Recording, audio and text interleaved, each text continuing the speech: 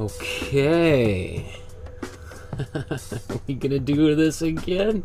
Are we gonna make some paintings? I think so.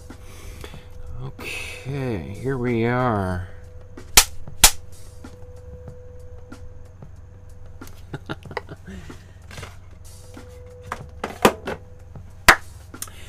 Good afternoon, everyone. Welcome to my studio. My name is Michael Markowsky, and today we are going to look at the work of another one of my favorite artists. An artist I'm sure everyone, even if you've been in living in a cave your whole life, you've heard of today's artist. Today's artist is arguably the most famous artist of all time. We are going to look at the work of Pablo Picasso. And and all week long, we're going to be looking at the work of Picasso because today is the first day of Pablo Picasso Week here as part of our Master Study series. So, we are going to begin with pretty, I would say, one of his first most well known pieces.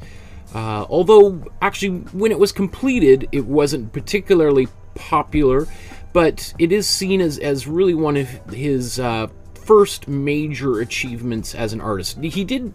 Picasso is unique in that he he achieved some renown at a very young age, and we'll get all into his biography in, in a moment here. Um, and he did make other paintings earlier that are really great paintings and are pretty well known. But this might be one of the first ones that is you know, sort of acknowledged as a masterpiece at this particular point in his time. And I think this, he would have been 19 or 20 years old when he made this painting. I mean, uh, he was a bit of a child prodigy, and we'll explain why, what the circumstances were that, that led to this particular, uh, why he became uh, a prodigy, right? It didn't come out of nowhere, right? So there is an outline that you can download for free from the Dropbox folder, and I'll show you that in a second. So I did this outline using the Procreate app on the iPad Pro, and you can download it for free from a Dropbox folder in the video description below. So you'll see there's a, a link, and inside that folder, there's I, th I think over a hundred subfolders, of which these are all paintings by famous artists from around the world all of which we have already done. So if you're just watching me for the very first time, and most people are, there's lots of content to keep you busy for a long time because we've been painting twice a week, usually Tuesdays and Thursdays at 4 p.m. Pacific time for over a year now. And obviously today's a Monday, so it's uh, because we're spending the whole week talking about Picasso. So it's a little bit of outside of my normally scheduled time, but Again, you can see we did do a Picasso piece about a month ago to celebrate International Day of Peace, and so that was one of his famous dove images. We actually did two paintings that day. Uh, but this week we're finally focusing on Picasso entirely and his work on its own because on the 25th of October it's Picasso's birthday. So we're, we're leading up to the um, the moment, the anniversary of his birth. So if we click in this Pablo Picasso folder, you're going to see all these different files. So we're going to start right up at the top here, number one here. You'll see there's three files related to the old guitarist. That's the name of today's painting. You will see an outline of the or the outline, and there's a JPEG version and a PDF, and then of course the original painting as well. So uh, I'll just let you know that tomorrow, this is the painting we're going to be working on, Child with a Dove. And then on Thursday, because actually on Wednesday we're going to take a little side tour as part of the paint the news series. We're going to make a painting based on Bigfoot, the one of the most famous images captured or faked of Bigfoot. You be the judge. We'll talk all about it on Wednesday. Uh, I think we're going to be doing that at 10 in the morning uh, Pacific time. So it's a bit of an unusual time just because of my teaching schedule. There is another painting here. So, um, actually, I should just mention. So, we're this is part of his blue period. This is the most famous, well, arguably most famous painting of the blue period. And then this is another painting associated with the blue period, but it does seem to bear some maybe more resemblance to some of the work that he was doing in the following uh, period of his work called the Rose period. So these two jesters here. And then here's another one, the actor. This one I don't think I'm going to paint, but I did an outline there just for some people who wanted a little bonus activity. Uh, I think on Friday we're going to move into Cubism and paint this painting and then I'll have to check the schedule. I can't remember what day exactly it is. It might be even be Monday on the on his actual birthday when we'll paint this Weeping Woman, which is a study for one of the images in Guernica. So lots of Picasso stuff. People have been asking about Picasso for a year now, and we're finally coming around to it. So uh, buckle up, lots of content coming your way. Again, if you're watching me for the very first time, especially if you're watching the video after it aired live, you can go right to the very end. Take a look at the at the last few minutes of the program and tell me what you think. Did you did I do a pretty good job? Does it look like the original? And then if you decide you want to continue, you can come right back to where we are right now and pick up the feed again. Of course, you're watching me live, you know that there's no edits, there's no tricks or anything. You're going to see me make the painting from scratch, from a blank canvas, and work my way up to this. So you can also see how, if I do make mistakes, which I tend to, how I fix those mistakes and recover from them, which generally people find quite helpful, especially uh, beginners who, you know, once they make a little bit of a mistake, they freak out and just want to scrap the whole thing and throw the paints into the garbage. The great thing with acrylic painting is if we make a mistake, cleaning it up or fixing it, erasing it, and, and continuing along our way is very easy. So we'll see. There's plenty of opportunity for that in today's episode. So let's, before I launch too far in here, I just want to let you know that there's a private Facebook group just for people painting along with me. I strongly encourage you, if you're watching me, to join the group because there's like, I I don't know, 125, 130 people at this moment who belong to the group already, that this group formed organically. It was something that people who've been watching for a year asked for, so I created it. And it's a great community of people who are maybe like yourself, just starting out on their painting journey. And some of these people who've been painting with me for a year were just like you at one point in time and over the past year have blossomed into incredible artists who are creating artwork completely on their own, inspired by ideas and images that they're passionate about. And that makes me so excited as a teacher of art to see this kind of transformation happening. So, um, every month I go through here, collect a bunch of images, and give some feedback. So I think that's going to be this coming weekend. We'll take a look at some of this work. So I won't, but this is awesome. I just, I love looking at, at this. Um, but let's push on here and just kind of quickly talk very, very briefly, because we'll talk about this. We've got plenty of time to talk about Picasso's life while we're actually painting. But Picasso Ruiz Picasso, uh, or sorry, Picasso Ruiz, Pablo Ruiz Picasso um, was born in 1881 and lived to the age of uh, was 91. So passed away in 1973. I, I, think there's probably a lot of people who might have thought he died 20, 30 years before that. Um, although he was painting right up until the very end. There's a, a, few paintings that, that were wet at the time he died that are, that have become famous in their own right because of uh, being the, the final touches of the great artist. Um, so born in Spain, died in France. He spent the vast majority of his life in France. Now, over the course of the next week, we're going to be talking about different parts of his life. So I'm not going to go through the whole biography right now. In fact, I really just want to focus on maybe the first 20 years of his life to get up to where we are here. So I'm just going to skip down. Um, also, in case you're wondering, because there's a, probably a few people um, who might say right off the bat, well, Picasso was, you know, undeniably an incredible painter, super skilled technical artist, but a very problematic human being, a person. Uh, I don't think there's any dispute that could be had that he is a prototypical misogynist. He was a horrible person to the women in his life. He traumatized them. He had many mistresses, on the many women that he was married to. You know, I, I think to, I have a two year old daughter, and I think to myself, like, what would I do if she came home saying that she was dating Picasso? It would be like, would I be really excited, or would I just be absolutely like terrified because this guy was in many ways like he devoured the people men and women around him right we have talked when we talked about Picasso's Peace uh, uh, Dove uh, paintings and series. He did a number of them over the course of his life.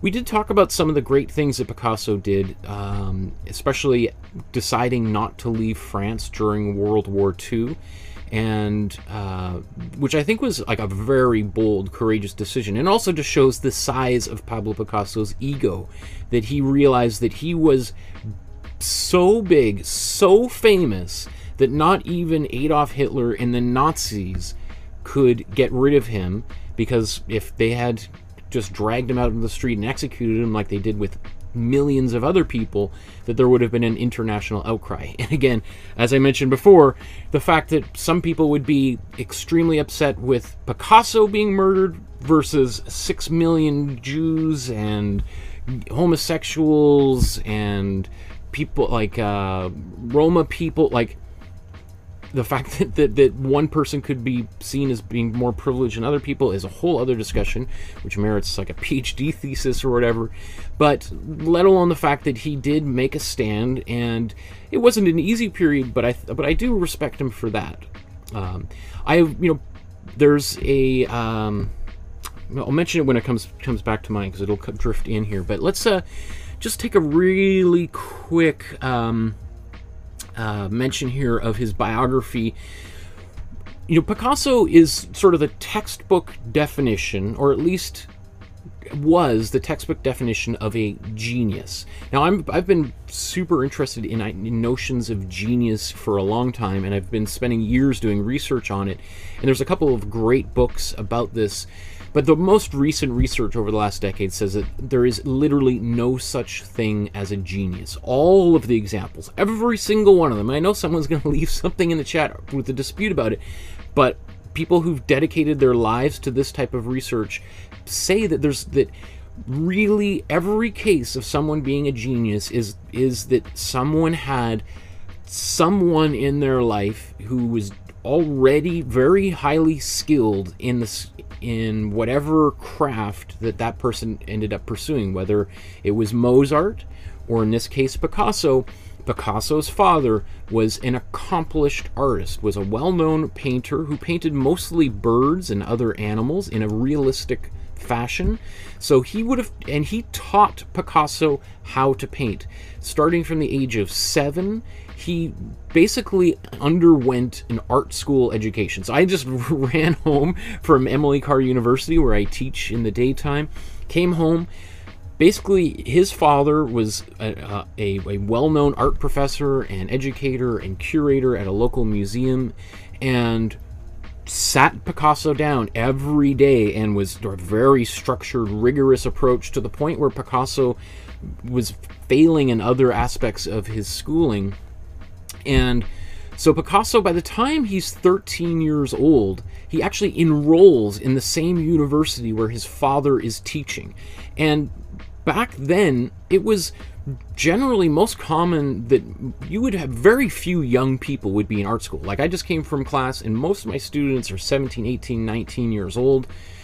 Even when I was in art school, most of the the other students were in their mid 20s. They had taken at least a couple years off or a leap year. So back then, artists sometimes would be in their late 30s, early 40s, and attending art school. Uh, often, art school would be t- taking place at night. And here's Picasso, a 13 year old boy, saddling up to the easel right next to all of these other people who've had other careers, even, and P- Picasso's painting next to them and you could also you could imagine you know we hear stories of these child prodigies and, and like child actors maybe in particular and the difficulty they have to adapting to society when they've uh, when they've really essentially missed out on their childhood. So I, I would say picasso would easily fit within that sort of framework of a, of a young person whose father was um, really pushed him into making art. Saw and, and you know, it's one of those things. It's like it's hard to say that he he that you know like what would you say like Picasso, the most famous artist of all time, created some of the greatest artworks of all time. him and his father did not get along. There was a lot of arguments, as one might expect from a father who's pushed his son into art. Uh, so is Picasso's father wrong for having done that? I mean, I certainly wouldn't treat my daughter like that. She, whatever she wants to do, she can do. But uh, yeah, I mean, this is, I guess the age-old question when it comes to parenting, right? That's a whole other discussion. Um, let's see. A couple of other major incidents that happened in Picasso's life. His sister died when Picasso was quite young, and obviously that traumatized the whole family. And Picasso you know, uh, kind of throughout, kind of forever on, is becomes quite obsessed with death, and uh, many of his paintings feature, you know, um, uh, death as themes um, and uh, and mortality. So that's so anyway picasso's living in um, he kind of moves around with his, his his parents throughout spain and barcelona and he moves to paris with his good friend. Does it say in here anywhere? Or around the same time. I, I, I all of this starts to get a little bit fuzzy for a number of reasons. One of which is picasso especially as he gets older in life he he kind of enjoys the the the confusion that starts to arise of the murky details of his life and sort of plays with it and when people would ask him oh did this happen oh yeah that happened and he might even embellish even further and make up other stories and somebody would say oh but i thought uh, you were in this city oh yeah no i was and and just walk away smiling letting people argue it out, and he could care less. He was, he really found that I think quite humorous as as to the confusion that arose. So uh, there is around. So he moves to Paris around 1900, moves in with the famous poet Max Jacob, and does it talk about Yes. Okay. So here's. Um, one of his friends from Spain, uh, Casagemas, is another artist who is uh, really struggling with mental health and depression and ultimately commits suicide. Now, I thought Picasso was there when Casagemas uh, committed suicide because he committed suicide in this uh, uh, famous restaurant gathered with a bunch of other people. But as, as I was doing some other research later today, maybe he wasn't he wasn't there. He might have not even been in france at all. But either way Casagemas was picasso's one of his dearest closest friends whom he shared a, a studio apartment with.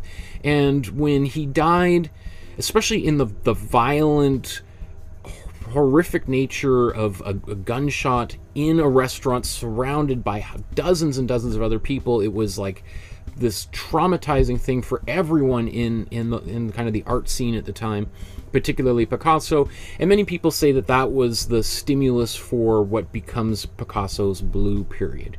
So I think maybe we'll just cut it right here and let's go right into the painting and we'll sort of talk about some of these things as it unfolds.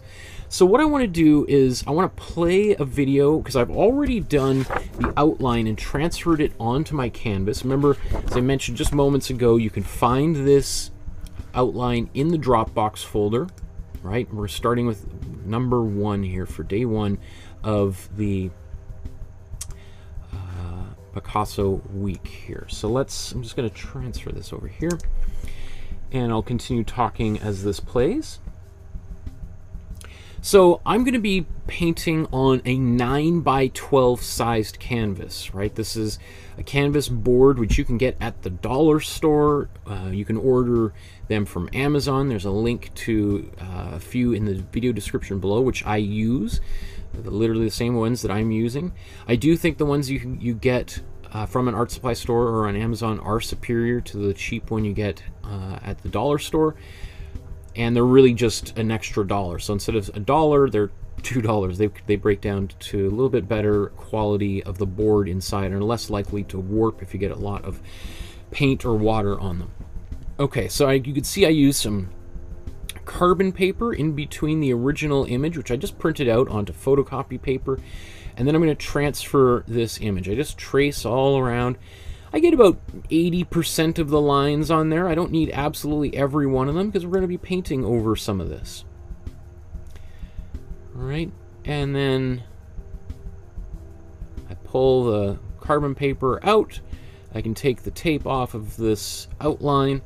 And then I usually also like to recycle these drawings, or I give them to our daughter to play with, to, to put crayon on, or most often these days just to chew on and create a little mess with. So uh, let's uh, let's start getting some paint on the palette.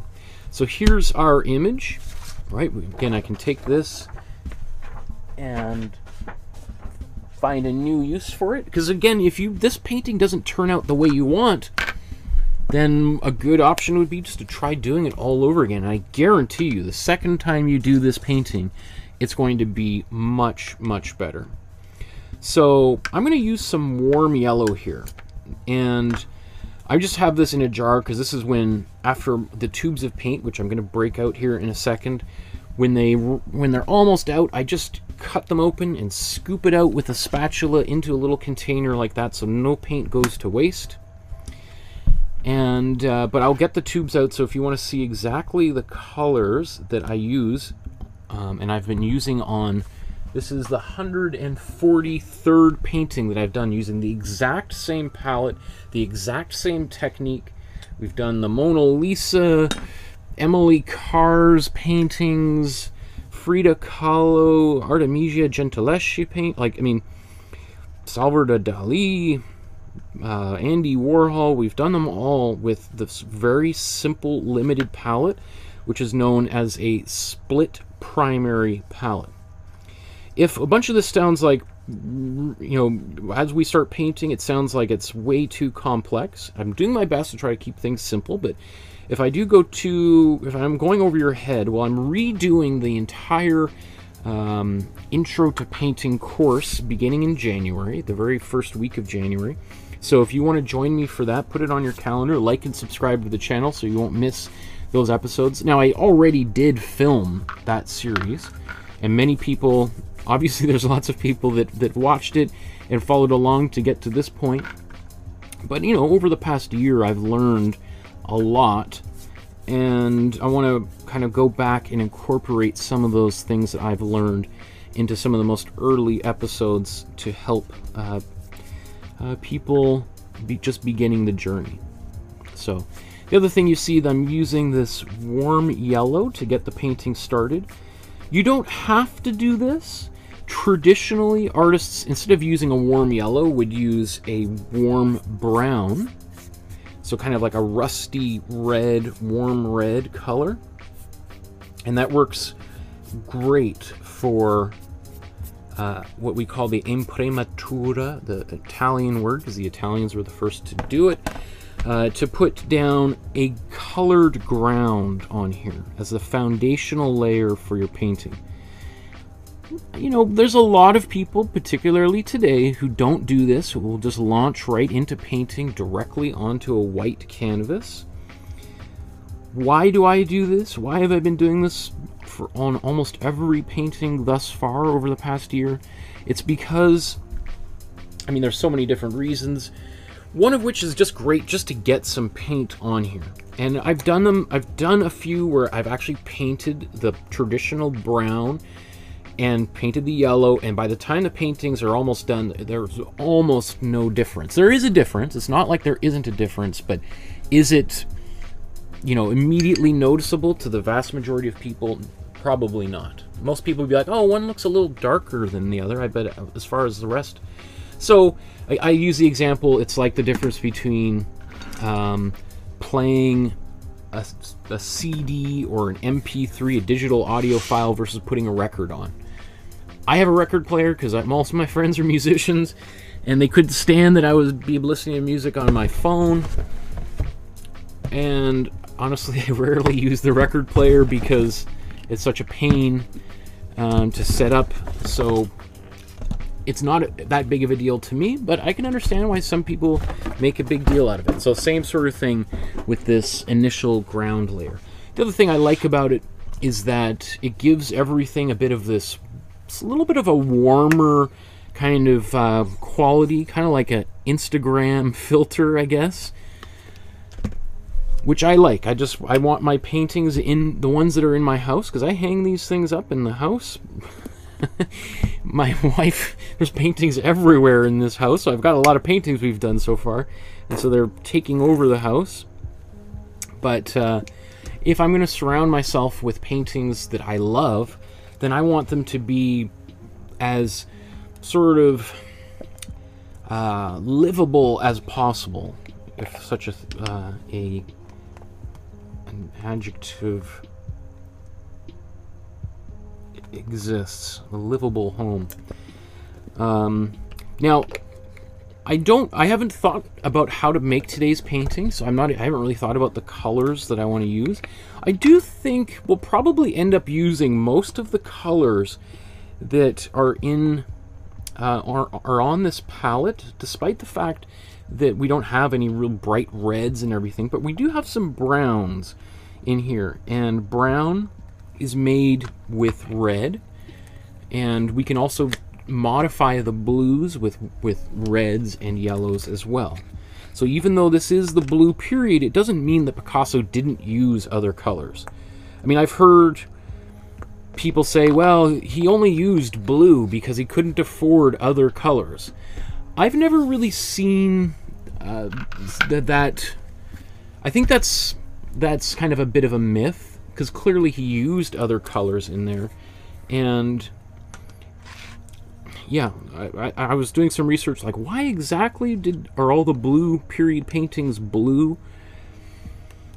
Um, he was in a very depressed state of mind at the time. It's no secret. He was, and he was. It's kind of this spiral that he was on. He was making these blue paintings, mostly of poor people in and around Barcelona, and then later Paris, and um, no one wanted to buy them. Sur- like surprise, no one wants to buy a painting of a homeless man begging for for change on the streets of Barcelona.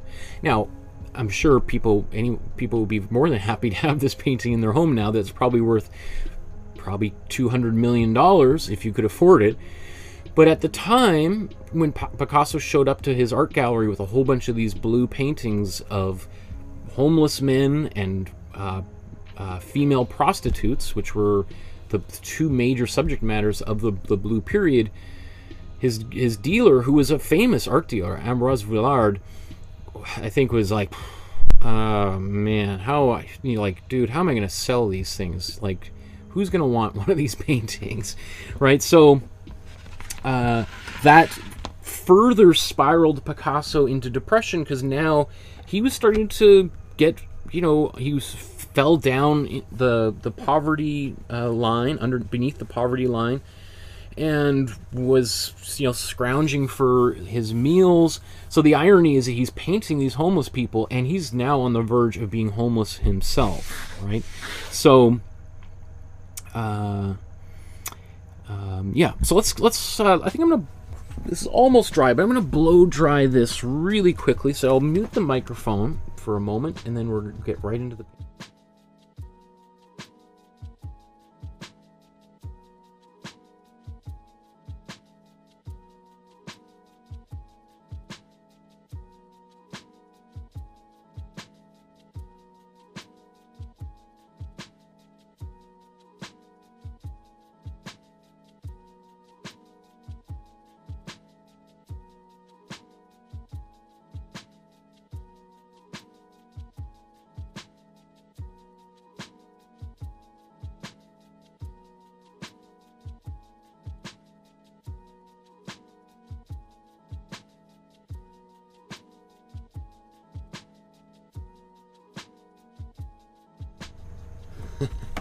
Okay, so that's uh, nice and dry. I just I'll just address a couple things I just saw there in the chat.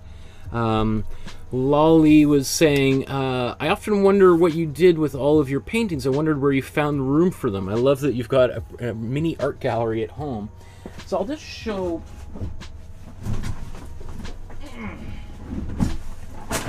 So I've got three of these bins full of paintings, right? You can even see here's the Alma Thomas painting that we did back in February of was it this year? It seems like the I don't know. So here's oh, this is I think the the box one of the master study. I've got one of the the intro to painting course, and there's another one that's almost full of the of, of to taking us up to right now. And just so you know, like what I've done here. This is actually just wax paper from the dollar store, which is not archival. It's not the best way of organizing paintings, but I've just taken some wax paper and put some of these paintings in, in here because these paintings will stick to one another if there's nothing that's separating them. And so you might find if you've got a whole bunch of these paintings in a box and they're sitting there for a few weeks and then you go to pull them out, they could be stuck together. That acrylic wants to kind of stick to things, right? So you got to be kind of careful. A product that I've got that I, I've been using for the most recent series of paintings is this. These are called, this is glassine. Glassine is a, um, it's like a, it's kind of like an archival wax paper, I guess. And they're really thin sheets of paper that have no, uh, uh, they're acid free. And they're used in museums and um, for storing books and, and documents. Um, sometimes you'll see like really expensive artworks in these folios, and they'll have a sheet of glassine like that in between to protect the surface, right? So if you want to kind of upgrade getting a little bit of glassine bags, and those I, I ordered off of Amazon, right? So I did a whole bunch of research until I found some that I really like. Uh, another thing, Heidi says, uh, your class today coincides with the uh, Art Gallery of Ontario again. There happens to be a new exhibition there called Picasso Painting the Blue Period. You did it with uh, the AGO's Matthew Wong exhibition a few months ago. That's cool. So uh, I, I did not realize there's a Picasso show um, at the Art Gallery of Ontario in Toronto. Great museum. If you've never been, one it's probably, arguably, the best art museum in Canada. what about the National Gallery? I don't know. They're they're they're on par. The National Gallery is maybe a little bit more inclusive broadly for the entire country, whereas the AGO uh, is focus is not just on um, Canadian art, but on art from around the world as well. Okay, so let's get into the painting. And let's look at this and just think about how we want to begin here. Oh, I also see people saying congrats on your 10,000 subscribers. I didn't even... I knew sometime that was going to happen. I don't even know what I'm at right now, but that's... Thank you for, for pointing that out, Maria and Lolly. Um, and thank you guys for subscribing, for joining me on this painting journey. I really do appreciate your support as subscribers and also the contributions that many of you have been giving. There's a brand new light that I just got uh, ordered on based from donations that you guys have contributed. And if you want, there's a PayPal link in the description below if you want to uh, join one of the great supporters of the channel. Okay, so when we look at this painting, where are we going to begin? So usually what I do is I start the background, and then I work to the foreground, go back to the background, finish the background, and then go back to the foreground and, and finish the painting. So that's probably the, the route that I'll take today, just looking to see if there's anything particularly strange or different that I want to do. This painting was painted over top of at least one other painting. So Picasso, again, this is a period of extreme poverty uh, where he is on the verge of being homeless himself. So he's recycling canvases. I, I don't know if it comes across here, but can you see a face right here? There's an eye, there's another eye, here's some lips, here's a chin, here's the top of the head. Right? Um, that's a chest and a belly or something here. There's a leg. There's another leg here and some feet down at the bottom. So if what might originally just look like drips or splatters, there's another painting that was underneath there. There's people who've done x-rays of all this, so if you're really interested in finding out what the original painting is, I'm sure it's all over the web somewhere. But I'm just so I, one thing we could do if we really wanted to kind of try to get this painting uh, as accurate as possible is we could put down some heavy gel, uh, which is a product.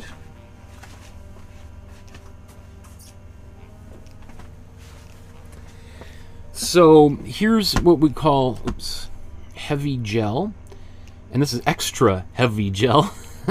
Essentially, what this is is it's you mix it in with your paint.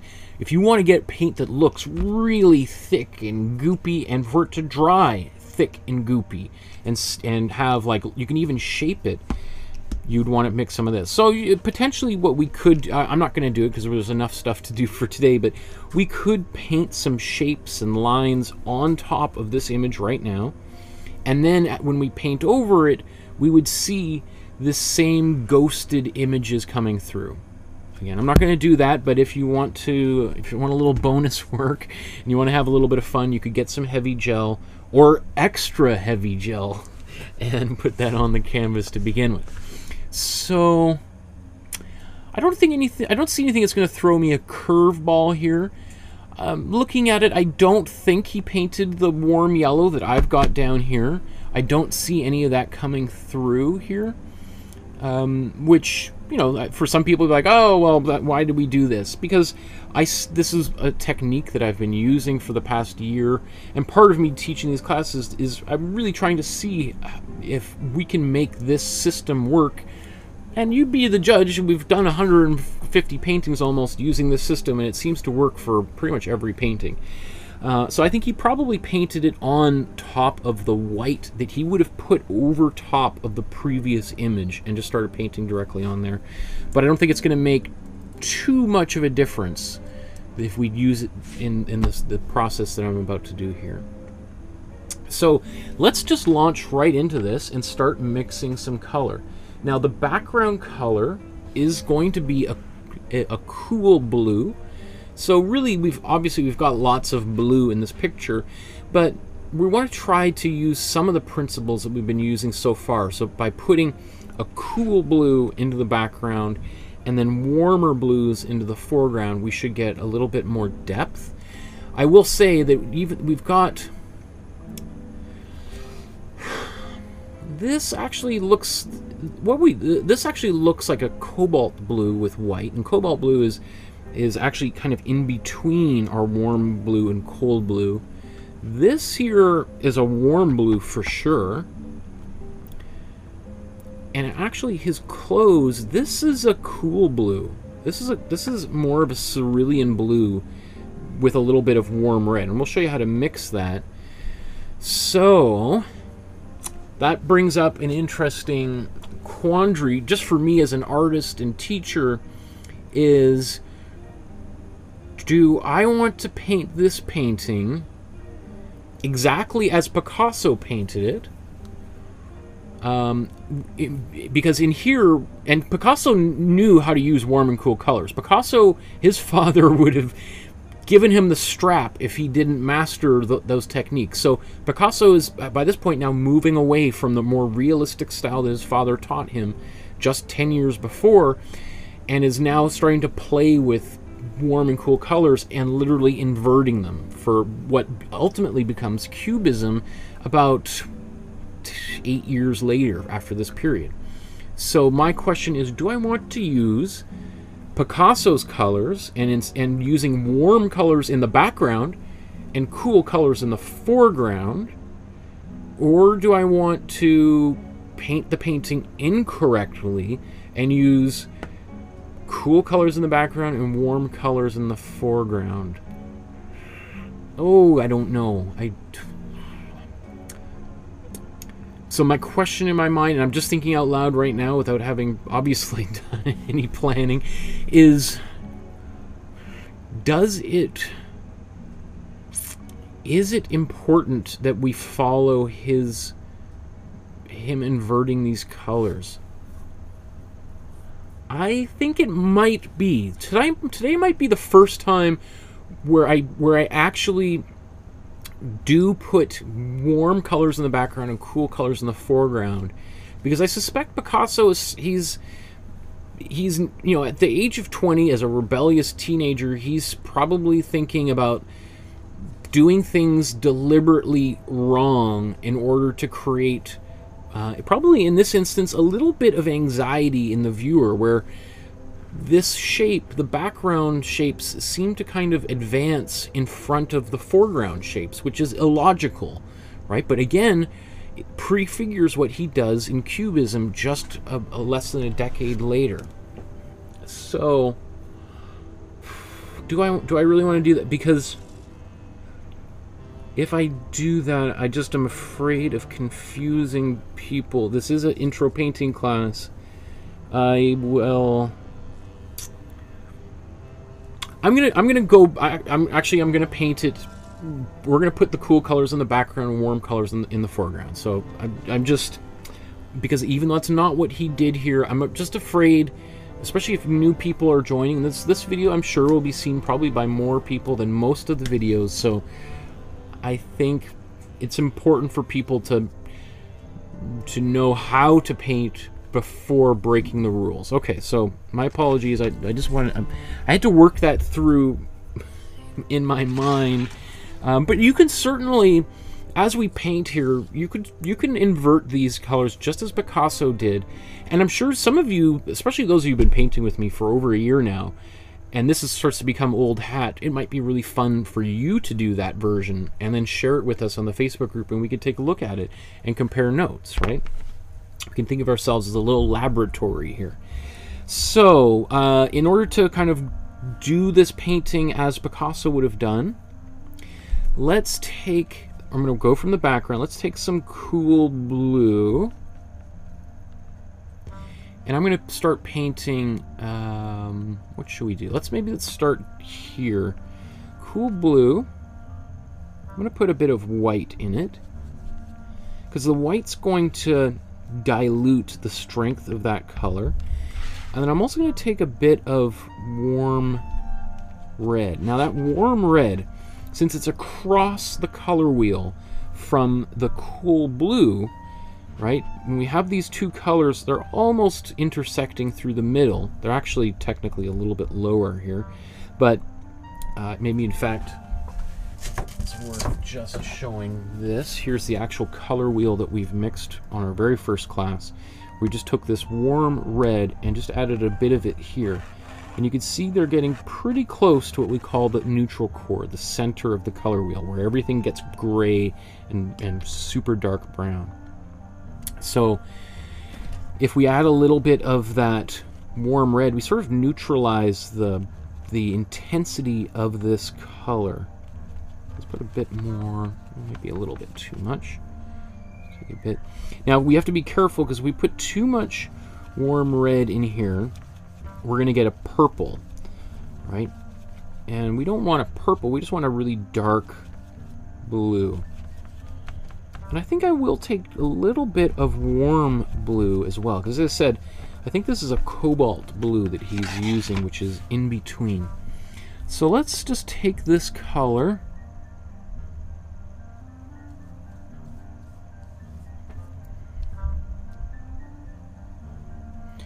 And I'm probably going to do two coats of this. And if you want, you could start painting like the way I am. And if you decide like, you know what, I think I want that, that warmer color back there, then you could, on your second coat, paint a warmer blue there. And maybe I'll do that. Maybe at the very end of the day, I'll do that as well. So, I mean, if you're paying attention to, and you're listening to what I'm saying as opposed to just skipping ahead, which many people do, you know, um, it'll all of this will make sense. If you're not, then and you're just jumping around, then it might be a little bit confusing as to why I'm doing what I'm doing. So, you know, while I'm right here, I think which direction should we go? Maybe let's go add more white. And I'm going to do, let's do this right up here.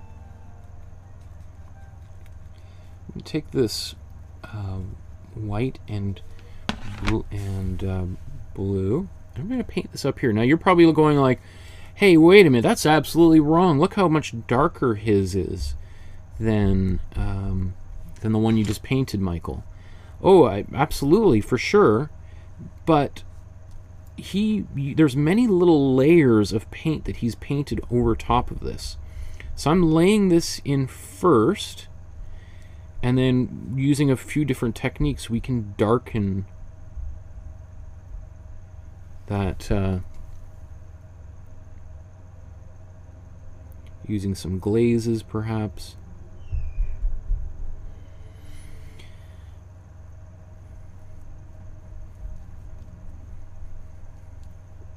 The other thing too is you can see Picasso's not too concerned about brushstrokes showing through at this particular stage.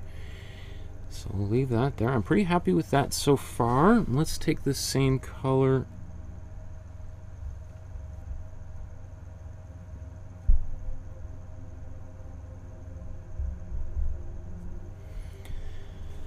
Okay.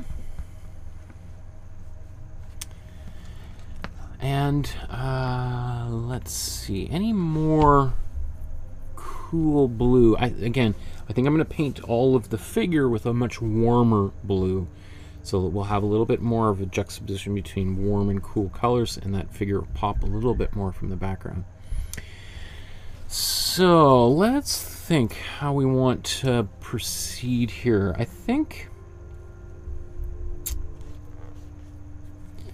think what I want to do is let's mix a much darker color. We'll mix like this. We'll make a, a dark, dark, dark, dark color. So I'm going to take some warm red. And I'm going to need to get some more dark red. Or it's not dark red, sorry, warm red. Warm red, and I mean more cold blue here.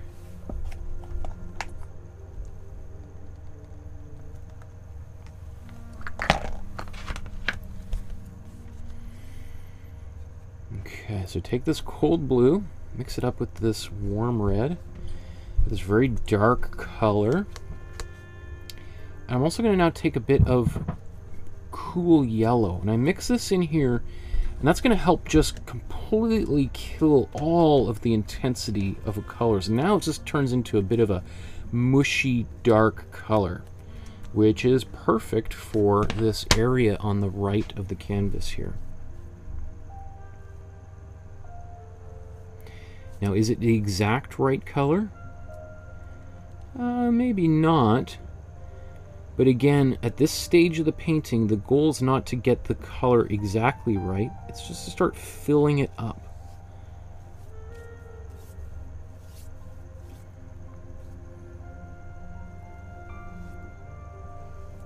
Got this shadow here.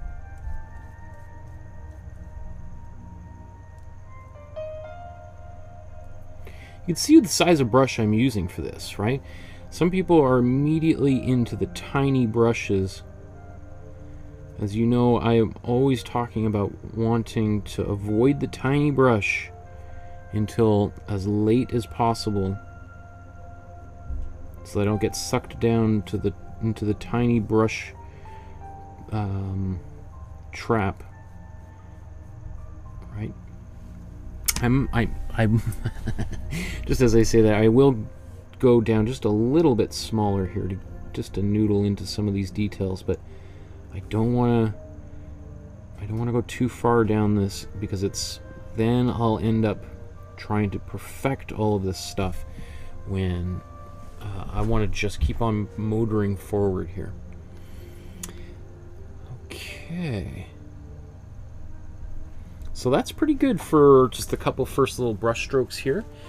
Let's now do the, the ground down here. So, that's just gonna wipe off this excess. We can use this again.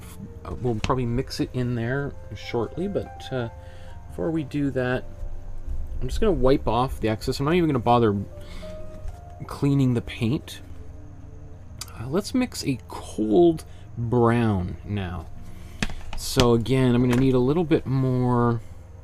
Where should we do this? Usually, I'm about to open up this tube here and cut it open and get the rest out. But let me, I've already got a jar full of this paint that would otherwise have just gone into the garbage, right? Scoop it out.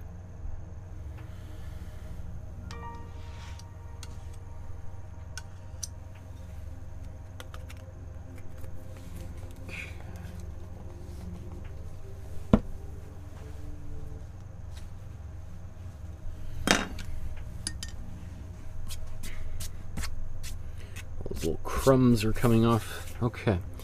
So now let's mix a cool brown, and just we'll keep this up here so you can see the, oops, the, the color as it evolves. So let's take a good healthy amount of cool red.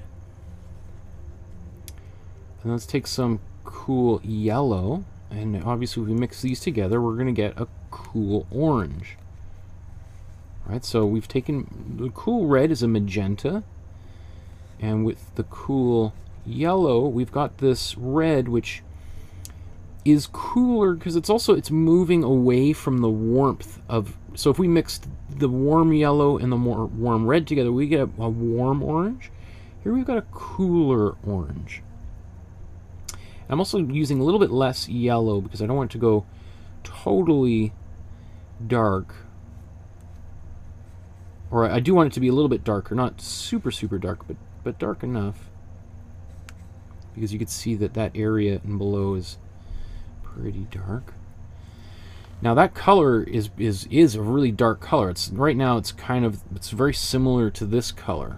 Right? We can, in fact, we could paint it right on here. Maybe we'll do that. We'll mix it again shortly, but let's add a little bit more warm red back here.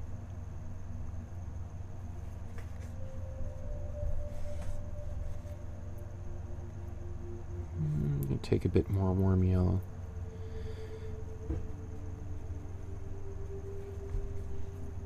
Alright, so now it's gone a bit greenish. Greenish brown. It means we just need to add a little bit more warm red. And we'll just keep on toggling these. I think that's we're getting closer into the zone here. Maybe that was a bit heavy on the... Let's add a little bit more yellow in here. There we go. Beautiful. Right? It's just managing these these ratios and once you get it it works and it can be a little bit of a pain in the butt but you can just sort of watch how mine unfolded and you can get there Right, so now I got this beautiful cool brown and I'm going to paint that right down here in the bottom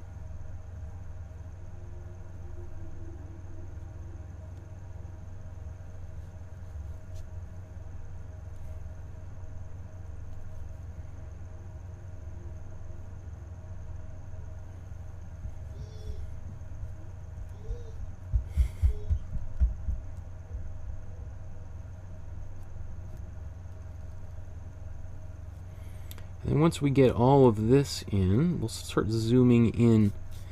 Oh, I just realized that, you know, the original painting, that foot is cut off, right? You can see. So we might have a little bit of room to actually include this foot. So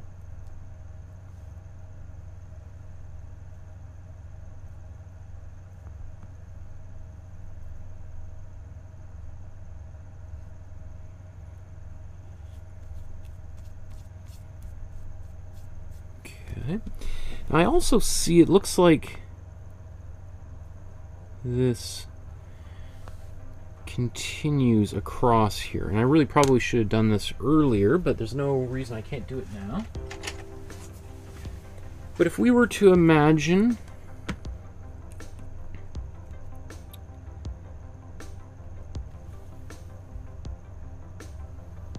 won't be perfectly straight, but gonna make.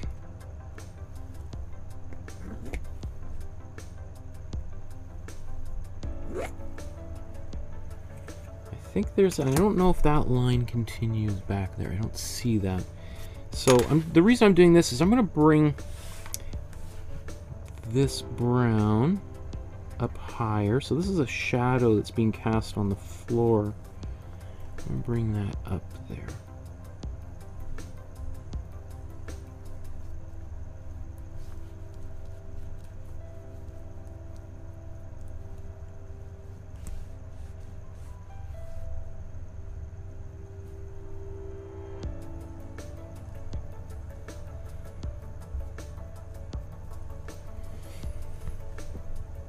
It still feels like it's a little low on the right side, doesn't it? So sometimes that happens, then you actually measure it and it's too high, but it's what looks right. It doesn't necessarily just because it, it the measurement is incorrect doesn't mean it sh- that it's it's whatever. Yeah, it's, if it looks right, then that's right. right. The same sort of thing, like when I'm hanging paintings sometimes, and you get the level out, and it's like, okay, this is level, but there's no way that that's straight, right? Just because the walls in, in an old house, like where we live, are a little bit wonky. So it's like, hang it so it looks straight. Because somebody might come in and that painting's crooked. Oh, well, no, but it is level. And they're like, okay, well, it looks crooked, so I don't know what you want me to tell you. Um,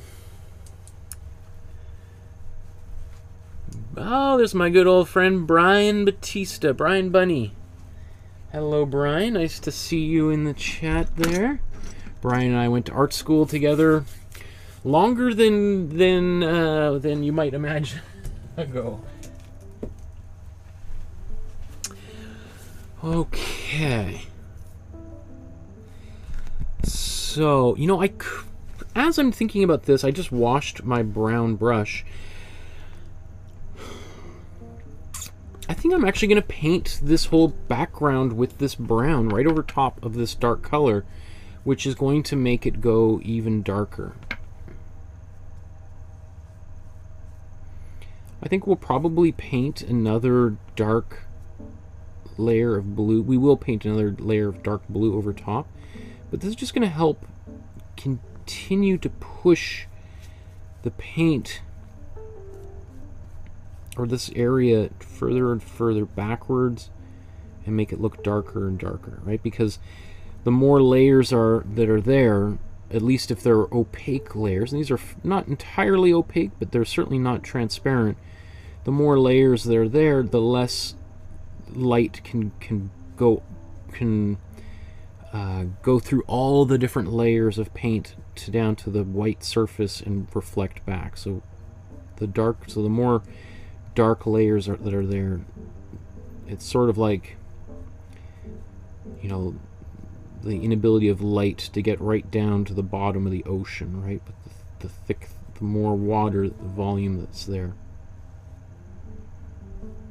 Okay. So, And I think I'm just going to add a little bit more of this brown paint here. Because sometimes, you know, when I'm painting around these little details, the paint gets a little bit thinner than it might be in other places, and it can just look a little bit lighter. So I'm just concerned that I don't want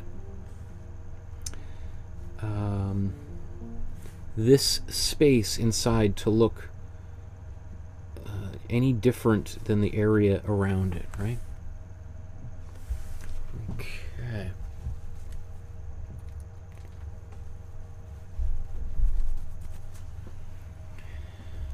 Cool. So I think let's take a break from the background and move to the foreground now.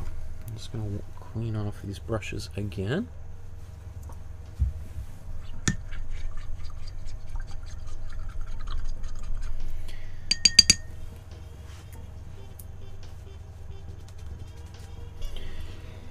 And that means it's time for a sip of tea.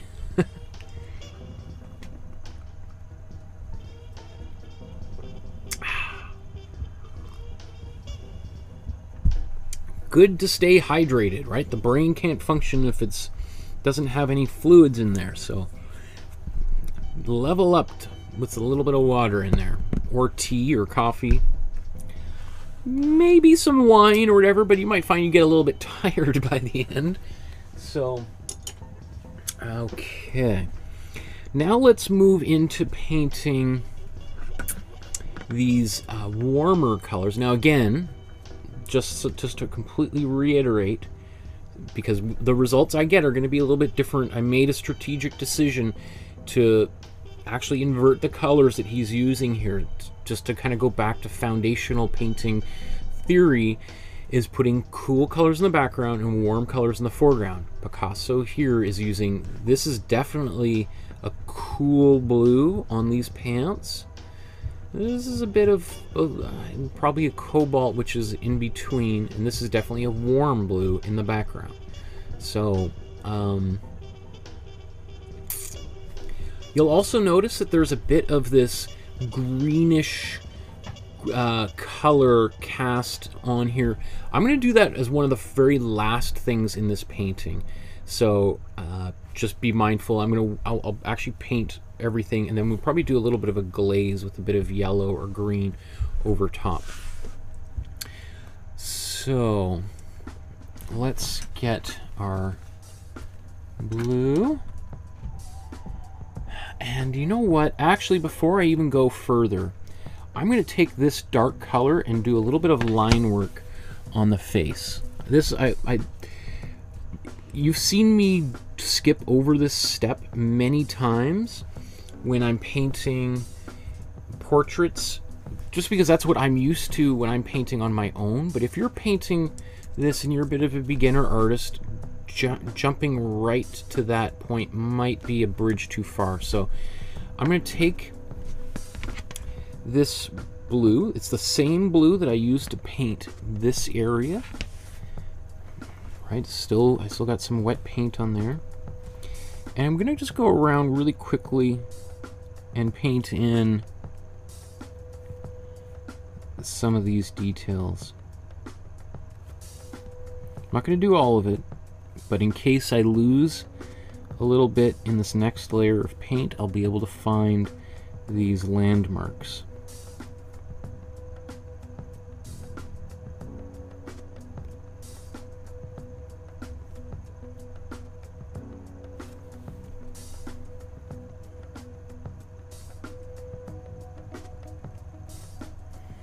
So I'm just going pretty quickly because the goal is not, this is not a final outline.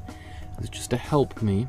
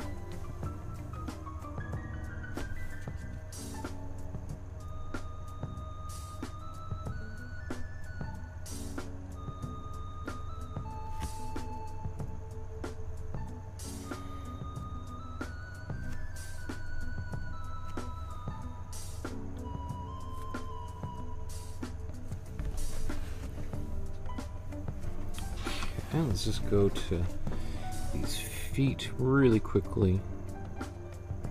Look how long these toes are that he's painted.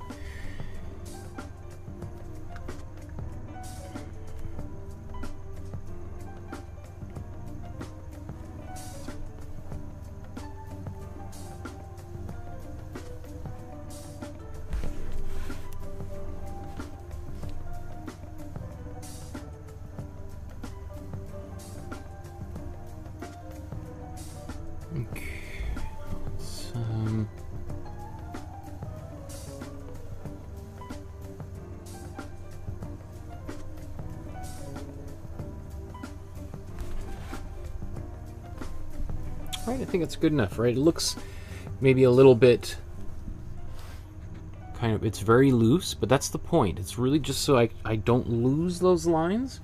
You, but even if I did lose those lines, I still have the basic composition in place, right? You should never, you know, become too dependent on your outlines. Otherwise, you're, you're going to lose the, the pleasure of painting, of just sort of having a little bit more freedom.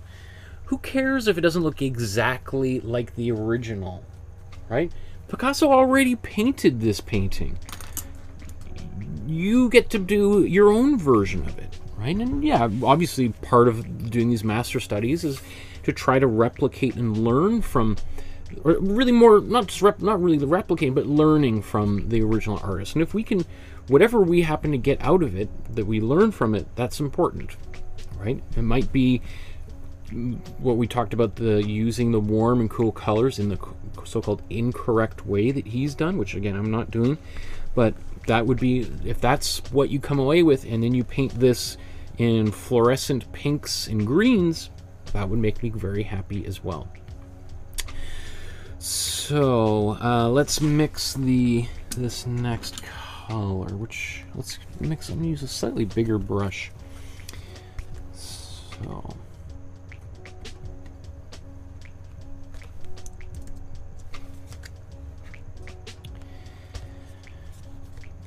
to do the like the let's do what should we do first? Let's do the clothing i think first. So maybe less white. Let's take some of this warm blue. And i'm going to modify it with a little bit of warm red. Not too much otherwise it's going to get a little purpley. Although it won't go super purple. Not super purple but it will go a little bit purple because it's not if I really wanted a really nice purple I would have used the cool red in the warm blue but I'm, I'm using a warm red here with warm blue which is going to just get take a little bit of the punch out of this. And even take a little bit of cool yellow mixing in here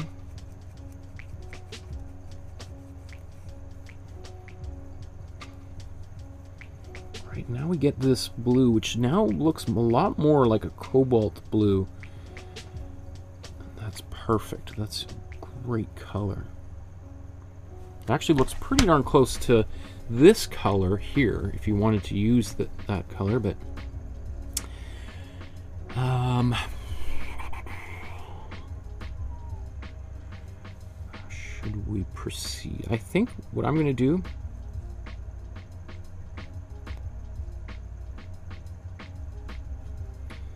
I'm just going to put this color all over these pants and then we're going to lighten and darken as we go later on.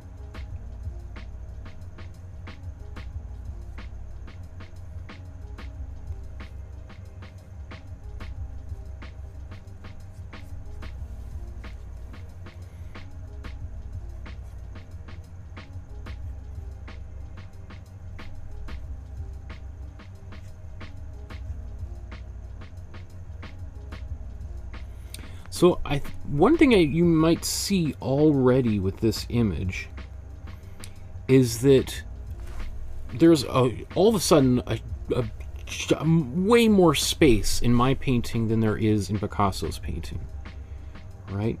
And I'm not saying that I'm better than Picasso. I'm just saying that he's using he's playing with the the warm and cool colors in a way that I'm not. I might later regret having done this, but we'll see. I just realized I forgot this area in between. So I'm going to paint this cool blue that we had, the same one that we used up here. Paint that in there, and I'm going to put some brown over top of it as well momentarily, but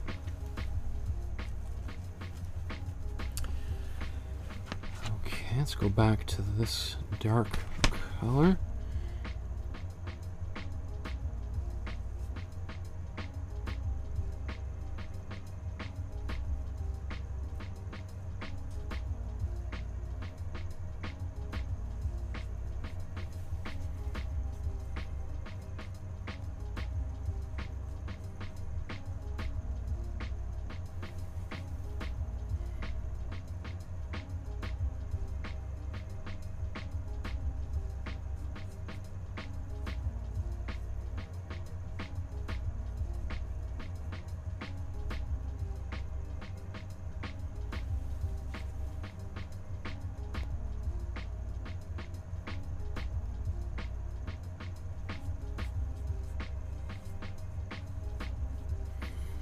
So I see this line in between his armpit and his body there, right?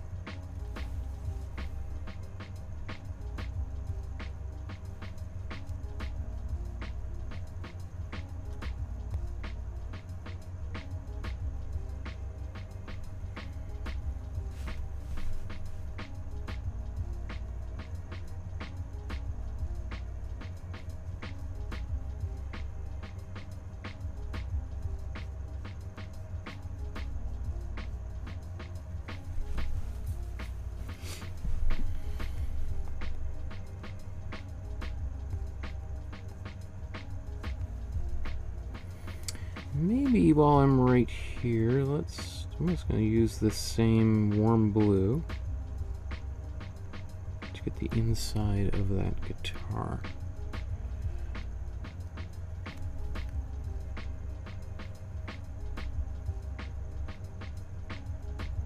His ear. Okay. Maybe even take this same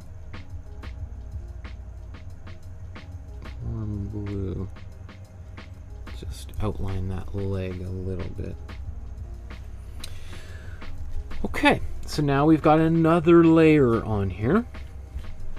Let's do the, the, the blue of his skin. So let's, first of all, let's just see how this looks if we add a little bit of white to this color we've just made. See it goes a little bit purpley. Well, it might, it might be just from that area of So right now it's got a bit of a purpley color because we did put some of that warm red in there.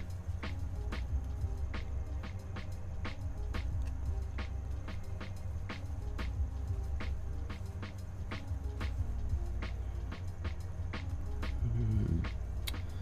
So he's definitely see all of this is all cool blues.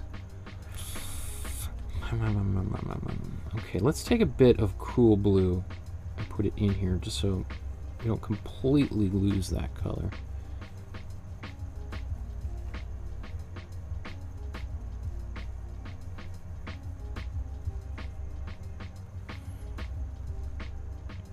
So what I'm looking for, I'm actually going to paint a little bit of the darker skin tones. Here, that's kind of the color I'm looking for. So...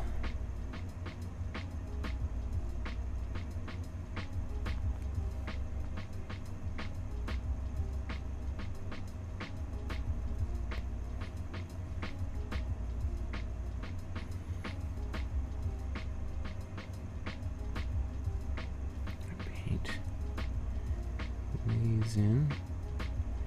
Now what the actual color or where the light is coming from in this painting is a little bit hard to, to pinpoint. It's kind of strange. Um,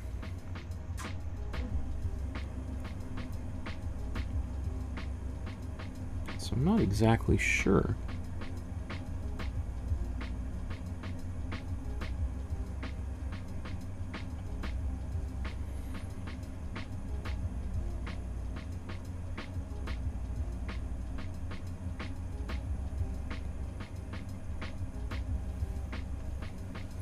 So right now I'm painting what we call like the local color, the dark color. Or not the dark color, but the kind of the middle value. And we're going to get some darker and lighter colors or values in here as we go.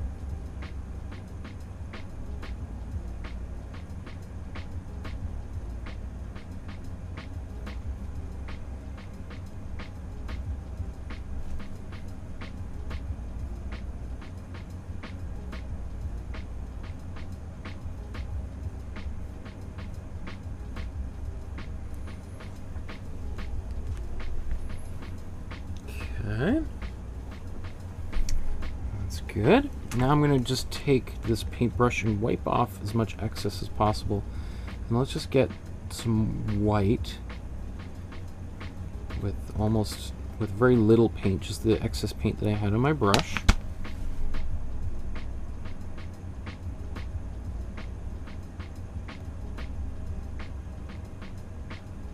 You can see how I'm holding my paintbrush. I'm really high up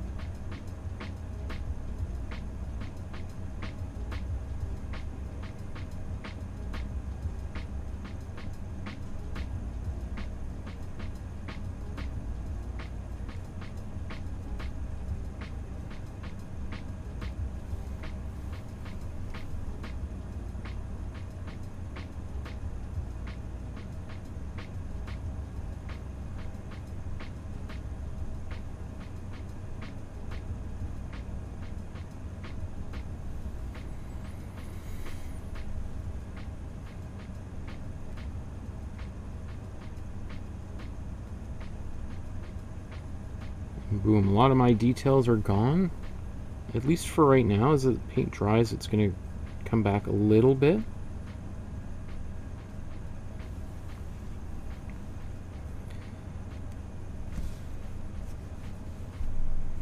But uh, I'm also, I like the challenge of trying to...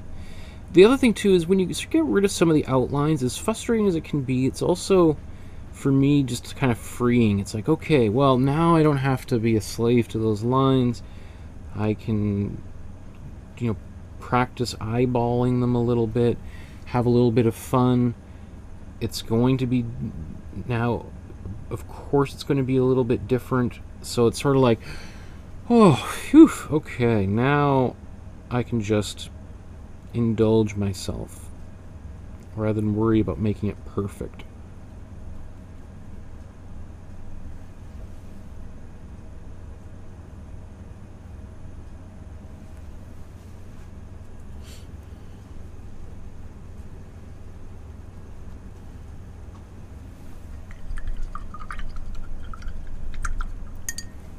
Okay. So next, let's do the guitar. The guitar is going to be a warm brown. So let's take some warm yellow, warm red, and make a warm orange. Remember the difference between the, the cool orange we made when we made this cool brown here?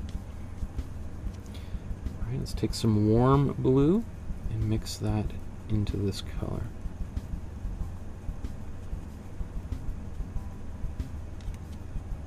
Pretty good. We need a bit more warm red.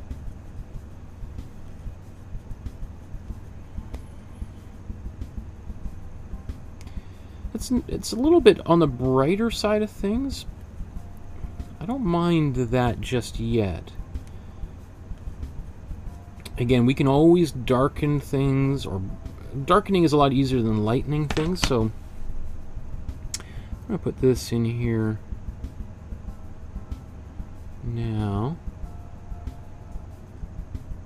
if I want to modify it, I will.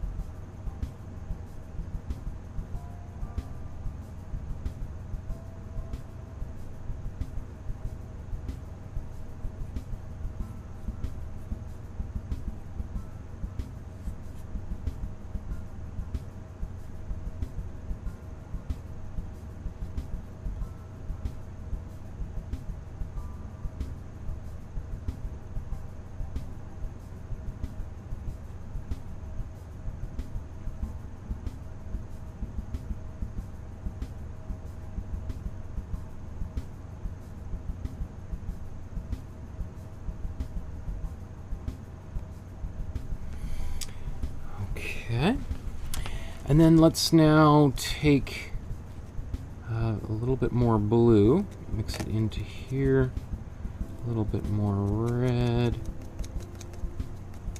get a darker brown.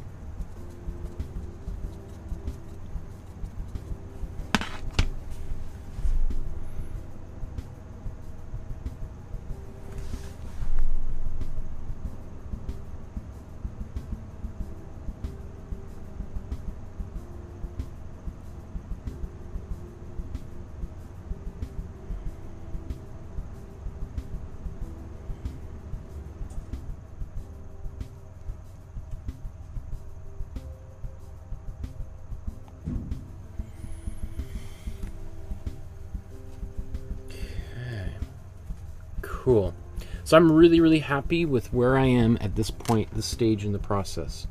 So I've got all of the main things in place. My color, my background, foreground, everything's been covered with paint. There's no white left on the canvas. I mean, there wasn't white left on the canvas about 20 minutes in because we put some warm yellow over, but now even that warm yellow is at least it's it's still you might say it's invisible, but it's it's actually there whether you're consciously aware of it or not because it's also mixing optically with the colors that are here. Uh, which means that like the light penetrates through the top layer, hits the bottom layer, and then bounces back to our eyes, and our eyes are seeing it even if we're not aware that we're seeing it. Now remember I painted this to dark blue. I'm just going to paint this same brown over top of it just to darken that area a little bit more. Okay. Now, you know, actually at this stage, if I did, I could still invert the colors and have my warm color here and cool colors on his out on his clothing and even on his body. And if anything, actually, this would be probably the, the a, a better solution to at this point, because now we've got our warm and cool colors established, but by adding some of those opposite colors on there, it's not going to have quite the dramatic effect. Um, that actually, yeah, I think that's this is probably actually pretty close to what he would have done. In fact, I bet you he did something pretty close to what we've we did so far. Um, okay.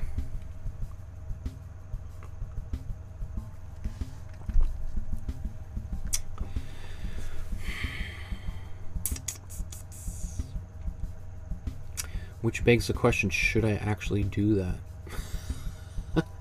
People are going to get sick of me flip-flopping around today, but um, it is a bit of... a. It's a really interesting problem or situation to run into. Hmm. Because we could put a, a warm blue right here, and it would look really good. Um... Similarly, we could put this warm green down here. Warm greenish brown over top of that. Hmm.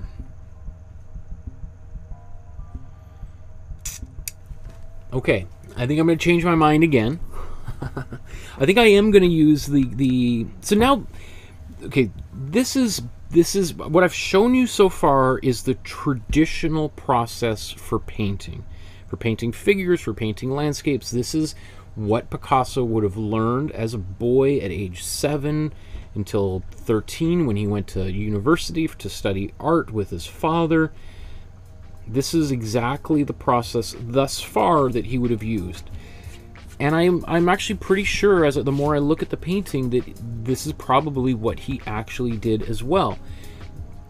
Then, what he's doing is now inverting some of these colors by now putting some warmer colors in the background and cooler colors on the foreground. And I think what that does is it creates a bit of of a strangeness to the painting where it's not just a painting of a homeless man playing guitar um, with whose clothes are tattered and is emaciated. He's clearly starving.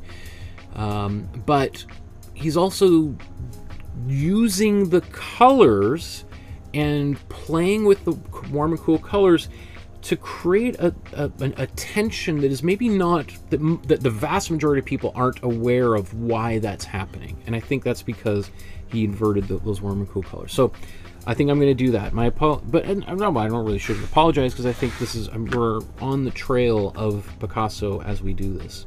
And i think you'll see a transformation happen pretty quickly as we move into this next step here.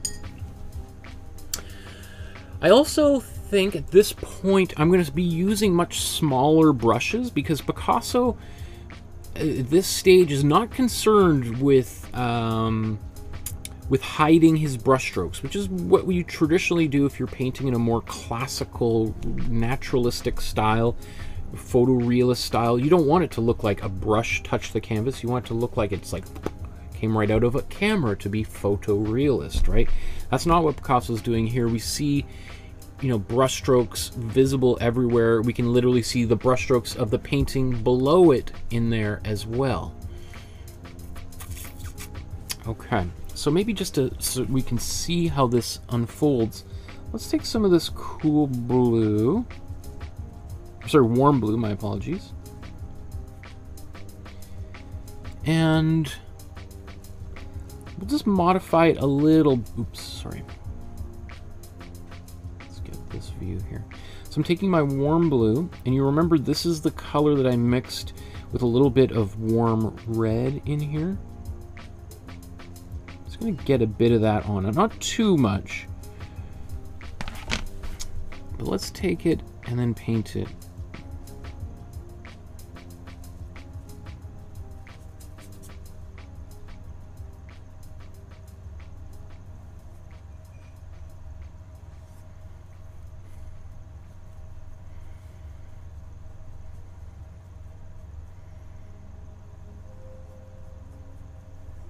That's cool. You can see that there's that color is this is basically we've matched the color exactly. Now he's also gone uh, done another layer over top of it, which is darkens it even more. And I think we'll get there, but we'll do just like he did in a separate layer. Because we've got lots of like what's one thing Picasso is famous for doing is for layering paint, getting nice thick layers of paint. He would one of his sort of approaches it's a quote of his and we uh, how closely he actually obeyed this is up for debate but one of the things that he would say is whenever he found a part of the painting he really liked he would immediately paint it out with the idea that if it's really good it's going to re-emerge and resurface. That might be a little a little stressful for a beginner artist to do and whether he actually did that is up for debate as well. Sometimes it could just be a provocative thing that he said. Um, okay. Uh, Donna says, Are there any pictures of his father's paintings? I'm sure there is. Um, in fact, if I recall, the, the Pablo Picasso Museum in Paris has a great collection, especially of Picasso's earlier work. And I've been there, I've been there a couple times. I, I can't think off the top of my head, but I I I I'm I would be very very surprised if they don't have a few dozen paintings of his father's in their archive somewhere. Whether they're displayed at, at all times is another question. I'm, I bet you there's one or two of his father's paintings on display there for sure, just to help give some context to uh, Picasso's life. But um, great question. I haven't really thought about it, but I there is some books that have some of his images in there. So I've got some white. Let's put some more white on here. And what was... Oh, I was going to do some little bit of warm blue in the background. Now I think I'm going to take this off gray that we mixed earlier. Add, add it to the white.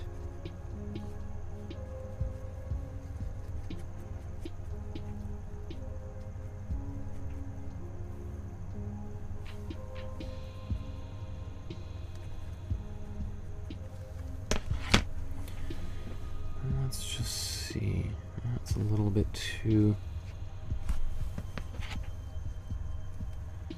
light even.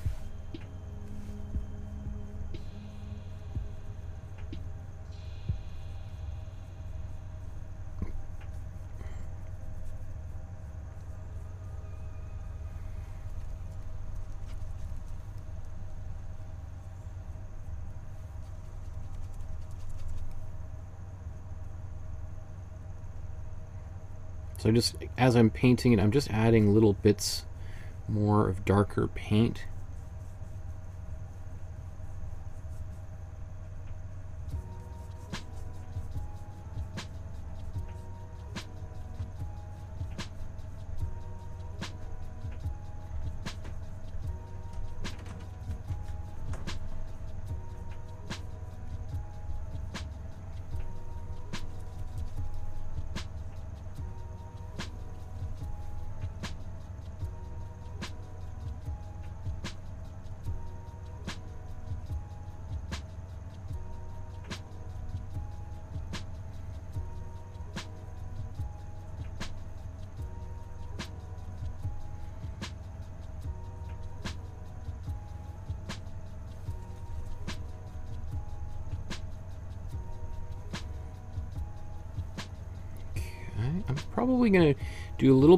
of this later as kind of glazes, I think, as a really dark but thin glaze. As fun as that is right there. Same thing, let's take some of this darker warm blue. Remember, here's my warm blue, and I'm just taking this color.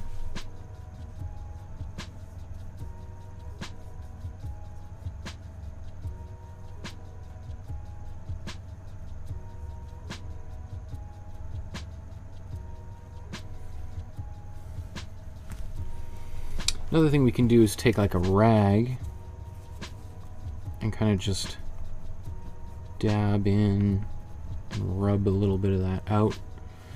Right, same thing up here. And just gives like a little bit more of an effect that Picasso would have used as taking a, a rag with some turpentine on it and wiping paint on and off kind of thing. Okay looks good.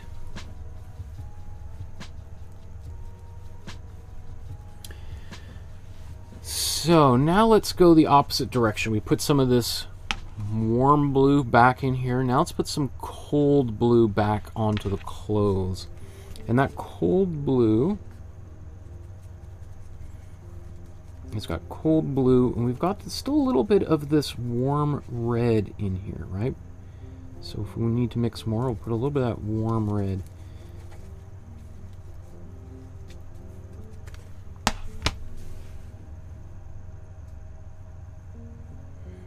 You can see that's the exact color that he's used right here.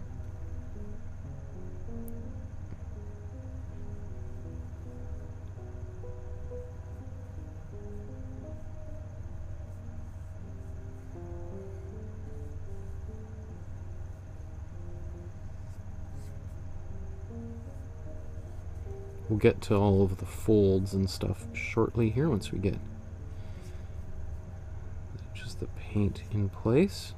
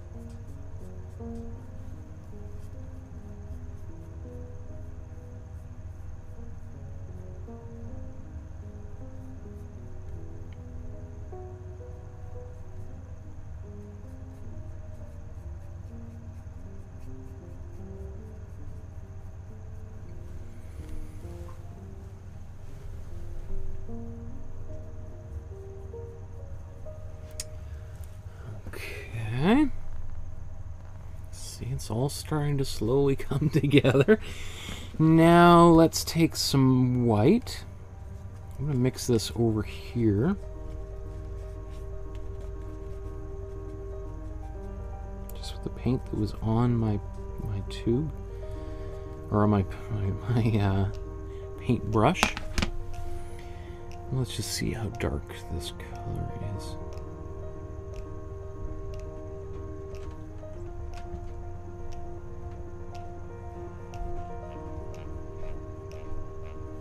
Needs to be a bit more on the white side, I think.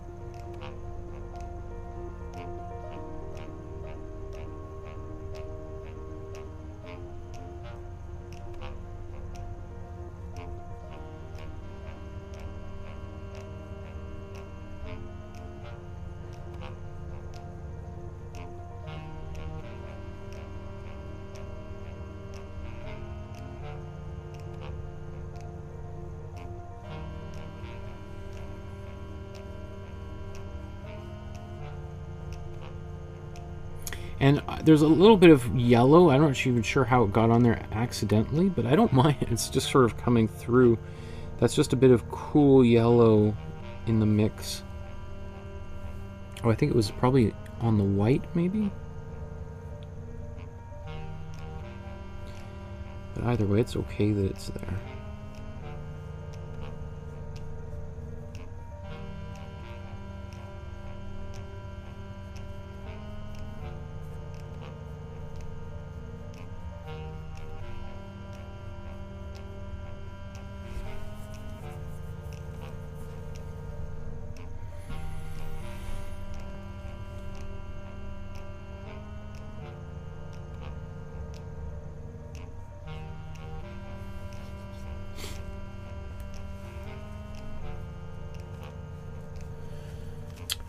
Even though there's more to do there, I want to get this guitar and then move uh, move on.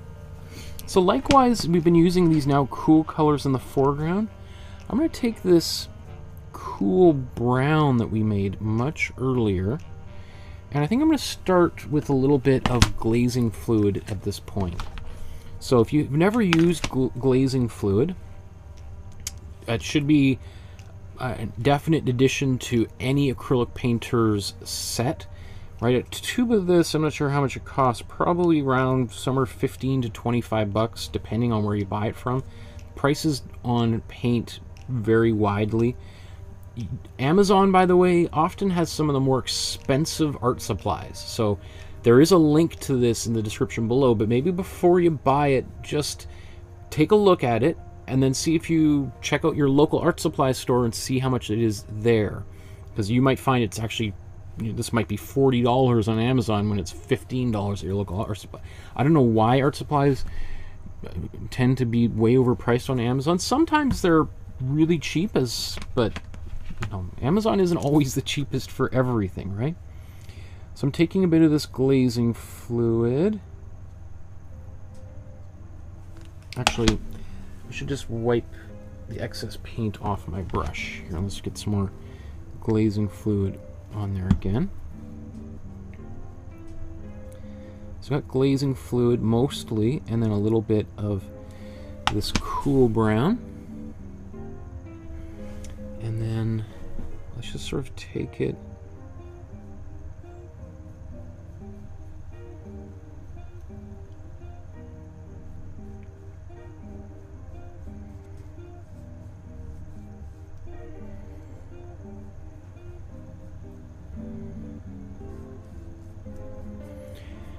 know he's doing something like this here. I don't know if I got, I haven't quite got the color exactly the same. But I can see that he's wiped paint off in this area.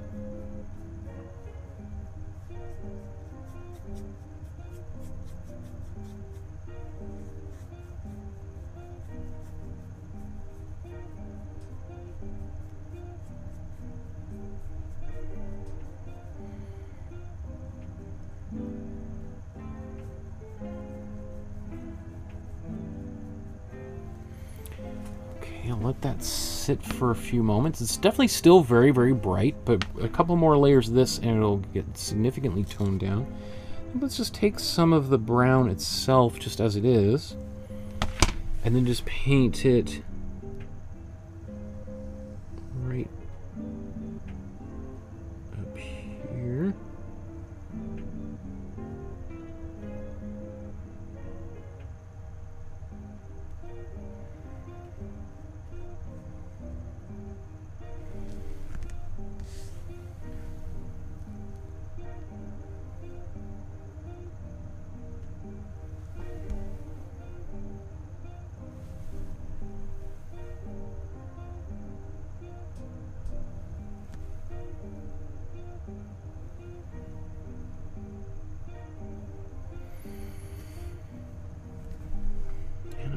Oops. Mm, can I get away with. No, that's something different.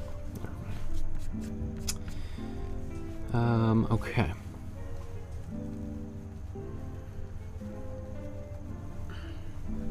So, how are we doing here? Um, I thought maybe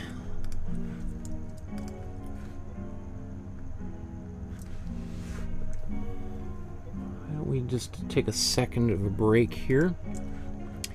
Since Donna mentioned it, let's take a quick look at Picasso's father. So here's an image uh, painted by his father, so you get an idea of the kind of work that he did and that inspired, or that he, the kind of thing that he was teaching his son how to paint, right? Um,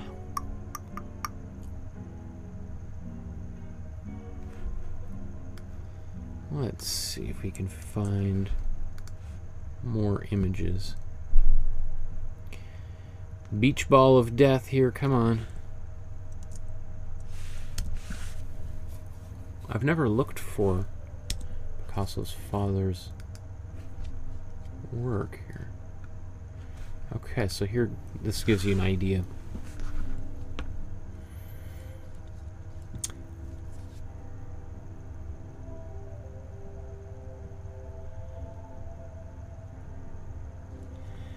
So you could see, I mean, these are all paintings that his father did, right? Here's another one of these paintings. Okay, looks like the computer's not wanting to behave, so I'm just going to move on. I see in the chat there, Paula says, sorry, what is glazing fluid for? Um, well, Paula, you've seen me use glazing fluid hundreds of, literally at least a hundred times, right? You've seen me use glazing fluid. I use glazing fluid all the time. Almost in every painting we've used glazing fluid. So I use glazing fluid because Paula, you've painted with me for I think every painting we've done so far. You've been with me, Paula. Um, but glazing fluid I use to uh, make very thin coats of paint, right? So if you want to make a, a layer of paint that is almost entirely transparent, you would use a little bit of glazing fluid. Glazing fluid, you know, is most famously used in paintings like the Mona Lisa, right? When people say her smile is so subtle, is a smile or a frown? It's the use of glazing fluid allows you to paint almost transparent areas of, of, of color that will hide your brush strokes almost entirely. If you do it properly and, and, it takes a little it's a technique that takes a bit of time to use or to learn.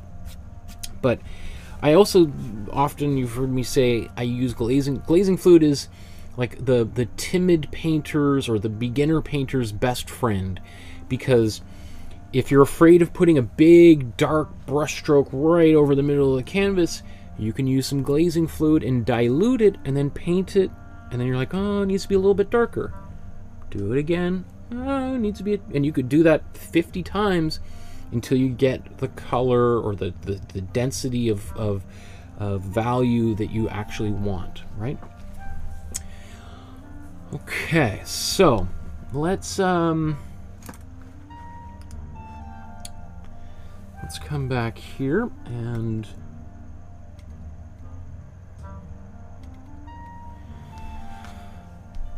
So, I think let's do... Actually, let's see if the if we can do another glaze on the guitar. I think it's sufficiently dry. I might put... I guess I'm out of cool yellow here, aren't I? So I can sneak a bit of cool yellow in here.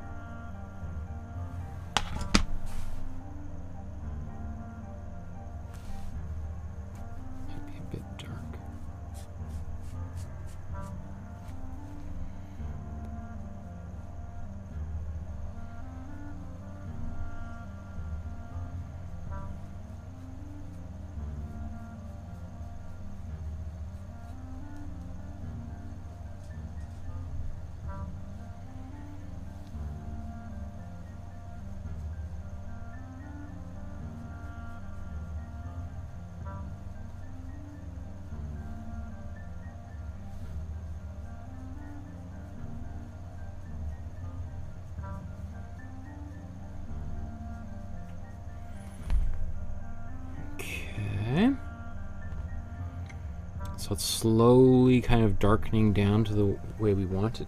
I think on the back down here, I'm going to use a warm brownish green.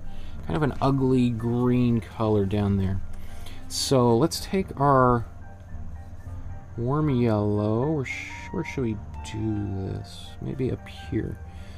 Warm yellow and warm blue.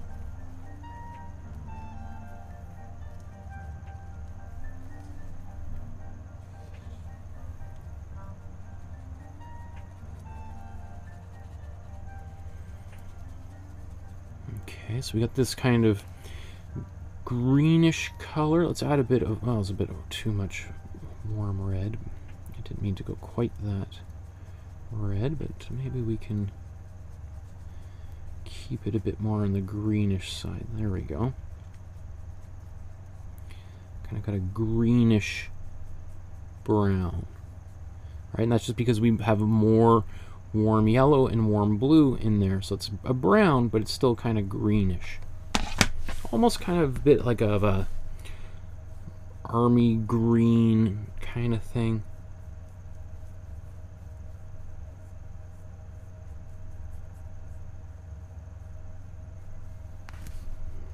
Right, and that looks like pretty close to the original.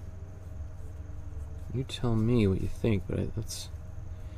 I mean, I, I'm I can pretty much guarantee you this is exactly the the the method that he used in this area for sure. Painted a, a brown and then went over it with another color like this green to modify it because we don't. It's not just a brown there. It's it's been modified again, but this is something Picasso did very often.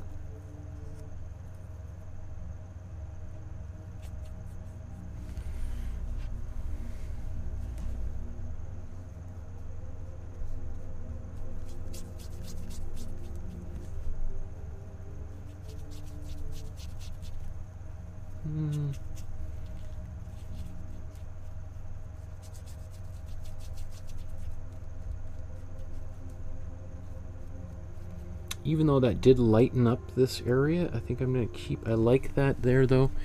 And we'll darken it down on it's later on. Put that shadow back there. Same thing in there.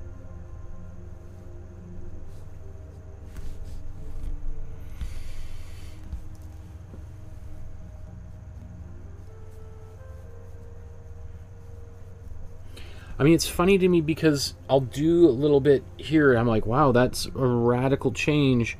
It looks a lot more green in person than I look at the can on the, can the screen. And what you're seeing, I think what you're seeing is like, oh, not quite as. It doesn't look what it looks like here in person, but that's okay.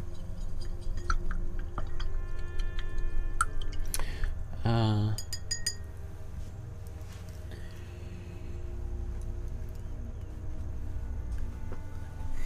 So lots of comments in the chat here. Uh, Carlito says, Hey, hey, hey, Markowsky, I couldn't paint along today, but just want to say that you have a good eye when it comes to recreating the world's greatest masterpieces.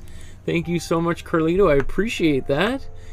Um, I would love to see your version of today's painting, or any of the other ones we've done. Um, uh, Gail says, So, in the old days, what did they do as I doubt they had glazing fluid? No, you're right. They did not have glazing fluid because Picasso was painting in oil paint. Uh, acrylic paint didn't really exist, at least wild, uh, widely available until the 50s, 1960s. Um, so he was painting in oil paint, and in oil paint we don't have strict glazing fluid, but you would use um, mediums like. Um, uh, Galkyd or like linseed oil to create very thin layers of paint. And uh, because linseed oil is basically the same thing that's that that is in oil paint. So another way to think about this, like glazing fluid, is kind of. I don't want to go too off on a tangent, but when it comes to when it comes to acrylic paint, you have pigment and medium, right? Acrylic medium, which is basically a plastic, right? When it dries, it turns into a plasticky type of material, right? And so if you want to, you can glaze with matte medium, which is just clear acrylic paint with no pigment in it, right? Glazing fluid is just a version of of matte medium that's just been chemically constructed in a way that that it dries a takes a little bit longer to dry. Um, it uh, is a little bit clearer than than this. Sometimes the matte medium can be a little bit foggy. Um, so it's just made specifically for glazing uh, oil painters instead, because oil paint is um,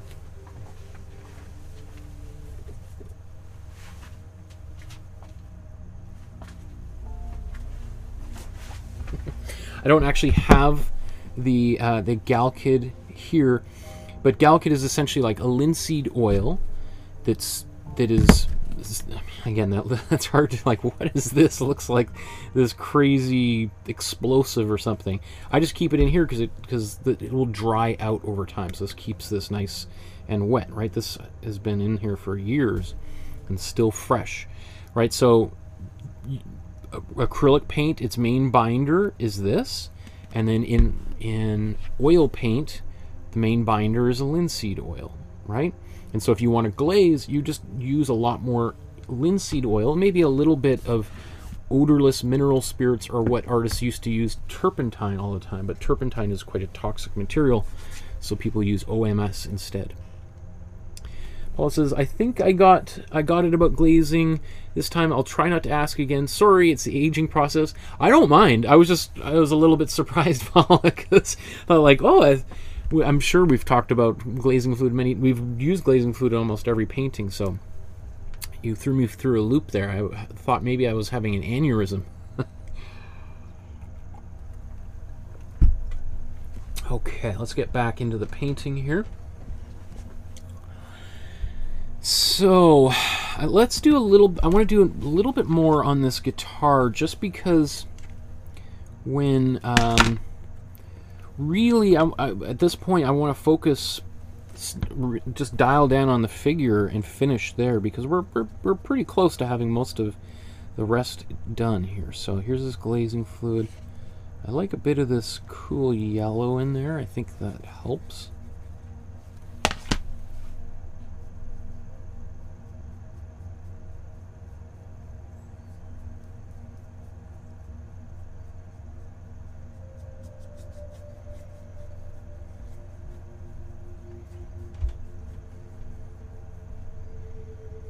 He's sort of just getting a little bit. It's still quite bright, but it's losing some of its the intensity of that warm brown that we put down here originally.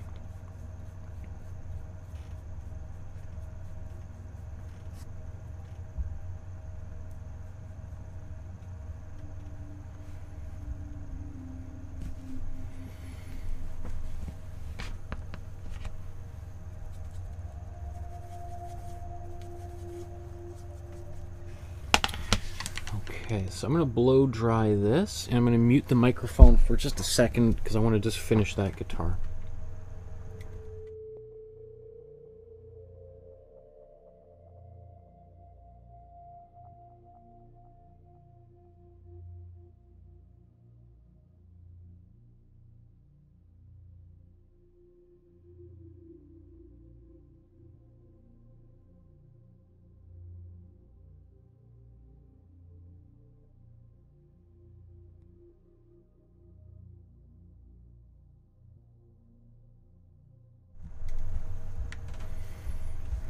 Okay, let's try doing this one more time. Actually, it's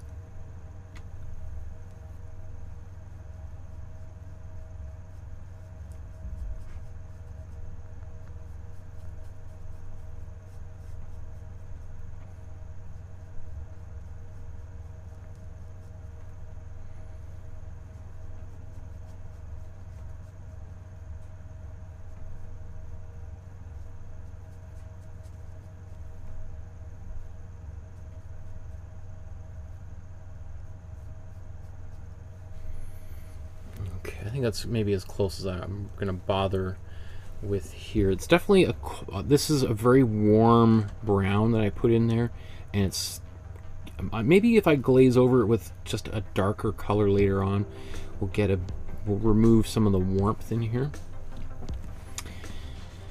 The warmth isn't that bad, is it?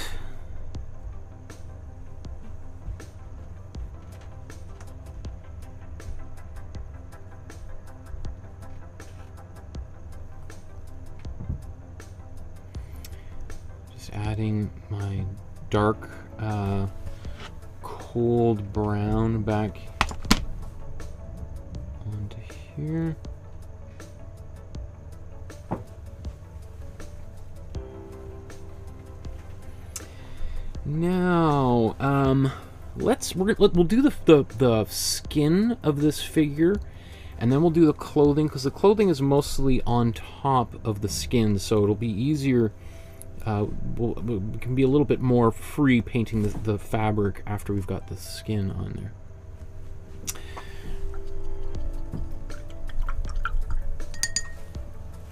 So probably, I think people would be, at this point, you're like, oh, I don't know if it doesn't really look like this guy. So let's go in and deal with the face because that's what what is gonna trip people up the most. So once we get the face out of the way, I think people be like, oh, okay, actually, this we're, I think we're on track. Let's that's good. He's not as crazy incompetent as we once thought. Let's see.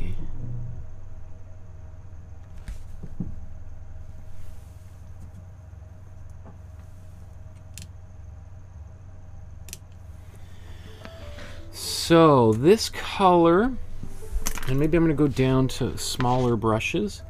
This is our cool blue. All right, so we can take cool blue and some white.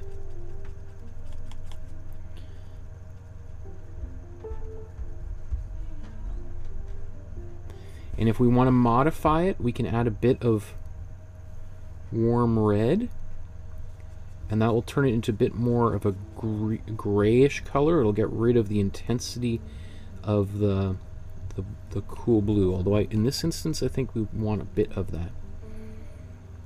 Okay.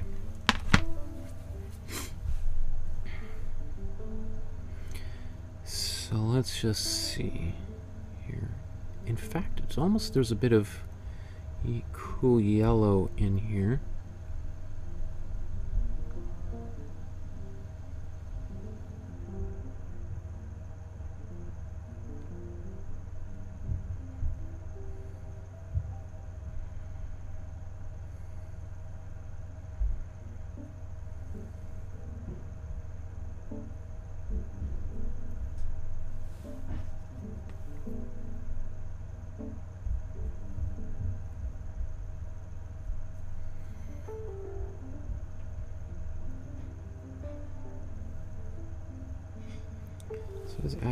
Bit more cool blue into that white.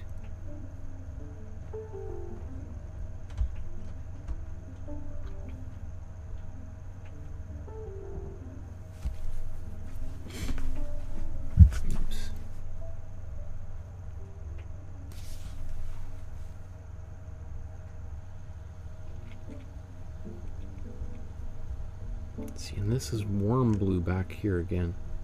So he's all he's flying all over the place in this painting. As I the more I look at it, and I see different things each time. So he's he's like breaking all the rules in this one painting.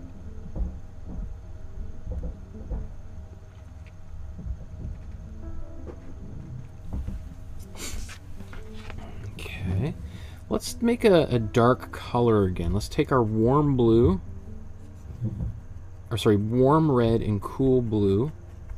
We'll make a, we'll mix these together. And I need some cool yellow on here a little bit, but so me just get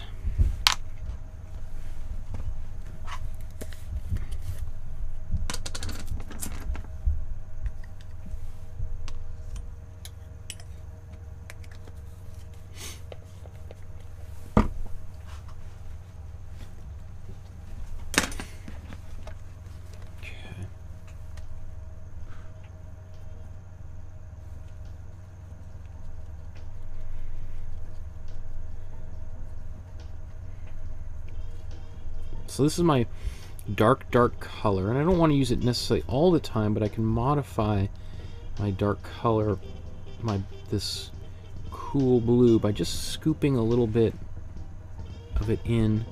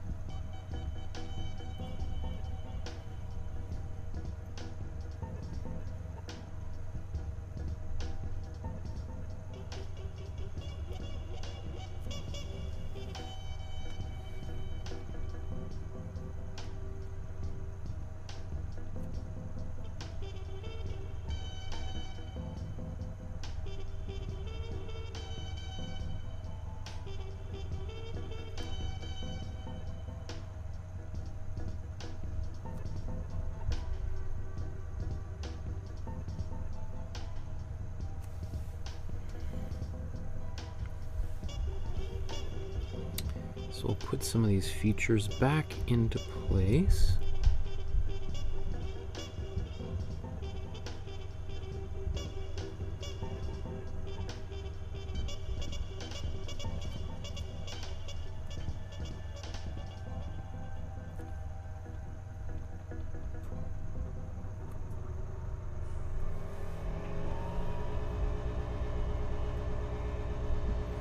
You can see he really gives this severe cheekbone here, which really makes this figure look thin and emaciated, right? It's pretty intense.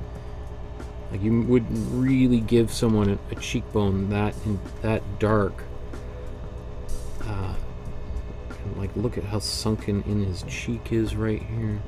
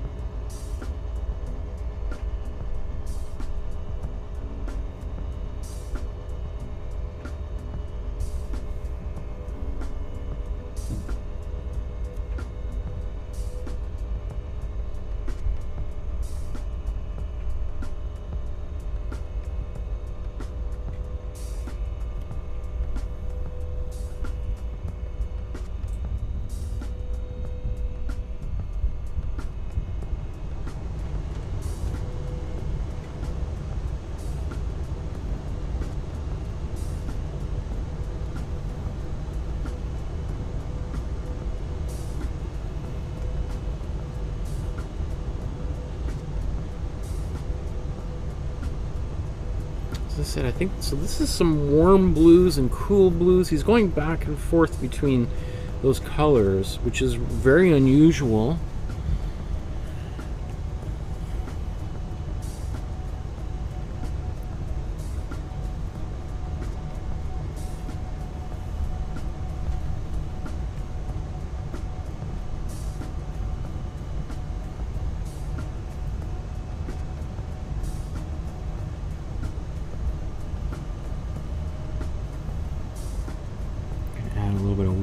Into this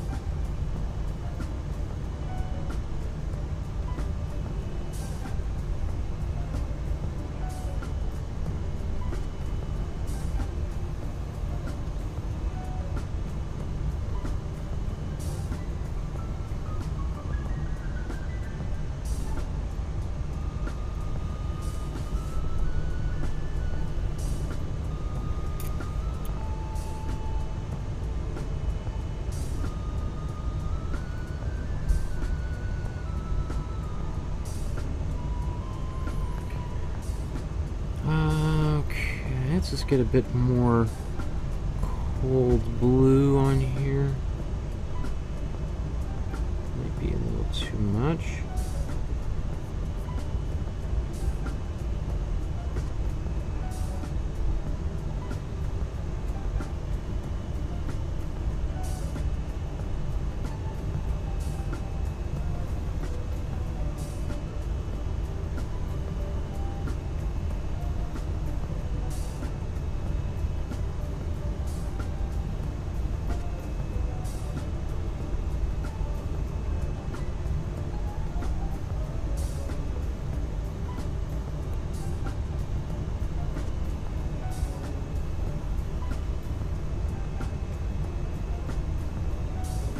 is all just like cool blues that I'm putting in here at the moment, right?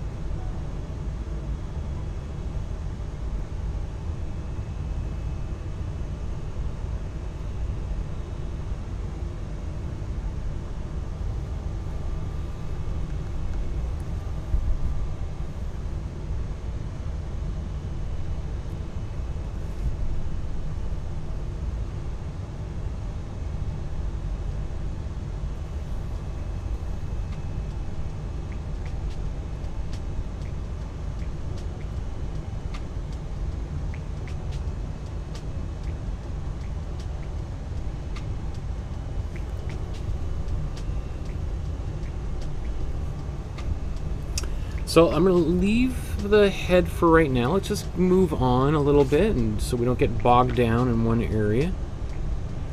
And there's John saying hello in the chat. Hello, John.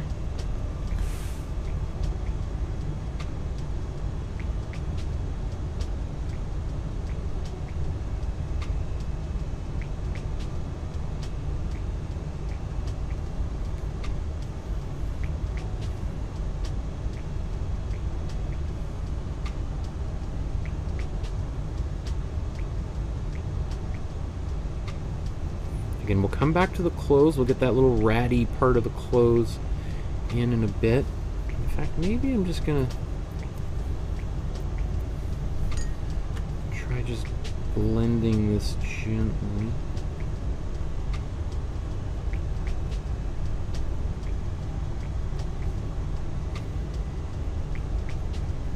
I mean, that's without any glazing fluid either, right? If you get to it pretty quickly, you can do a little bit of glazing fluid. Um, but you have to be pretty quick.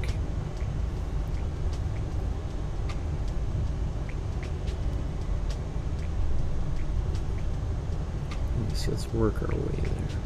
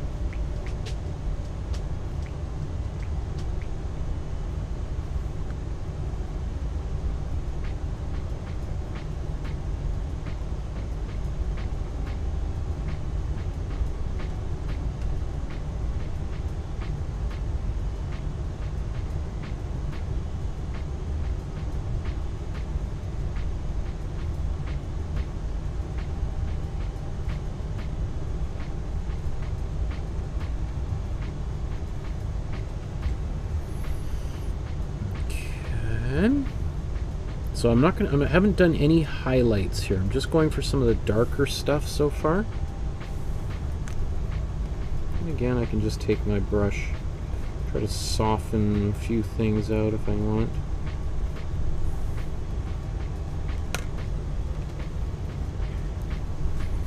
Let's move down to the other hand.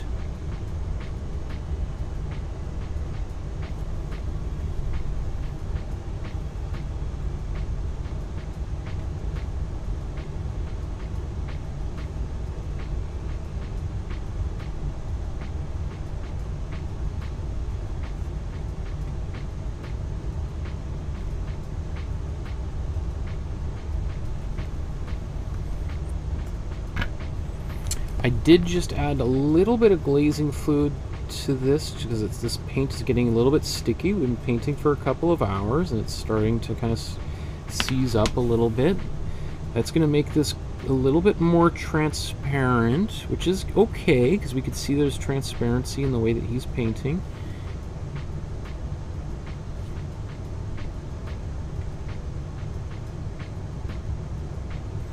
Right these really long fingers again really accentuate the the boniness of this of this figure right?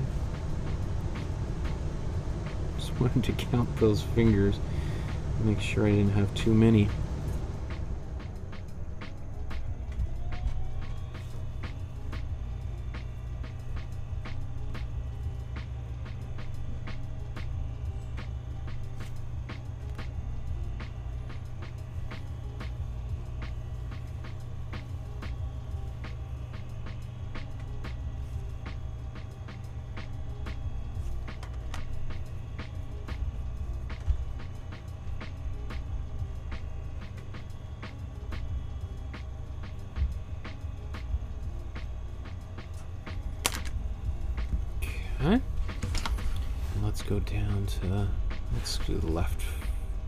I guess it's his left foot, yeah. Even though it's on the right, okay, interesting.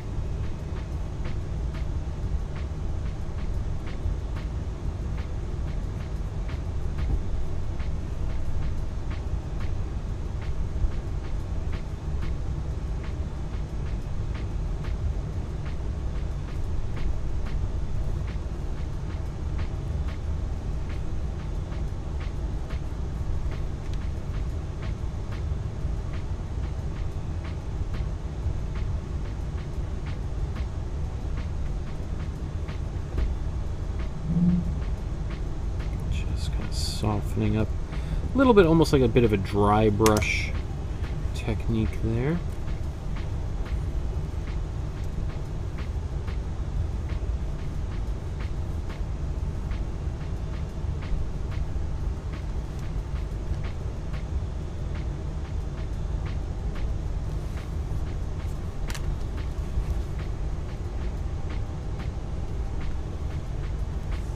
And in here, like, look at all the colors we see here. There's purples and greens and pinks.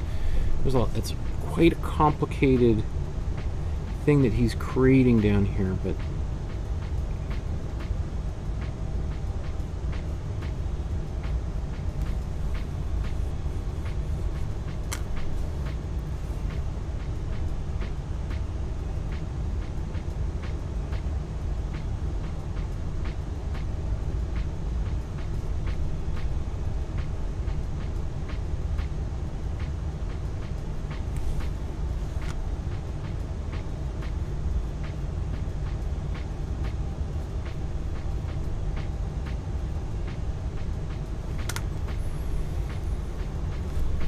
Okay, let's just take a little quick uh, check in and see how it looks so far.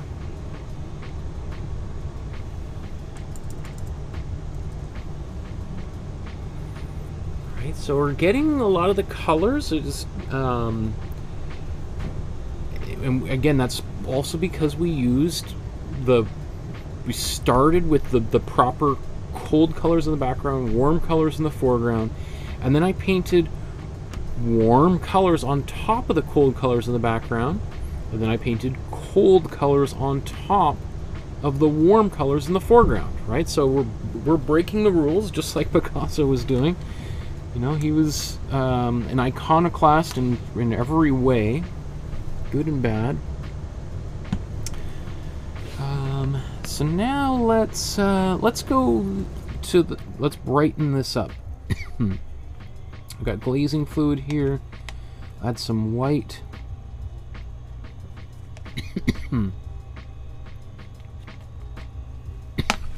Excuse me.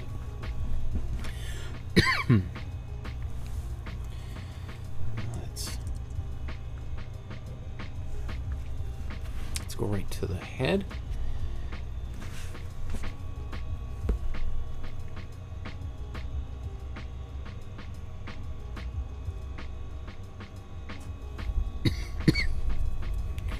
I'm just going to use... You can use any brush for this, really. The softer the brush, the better it works, but I kind of...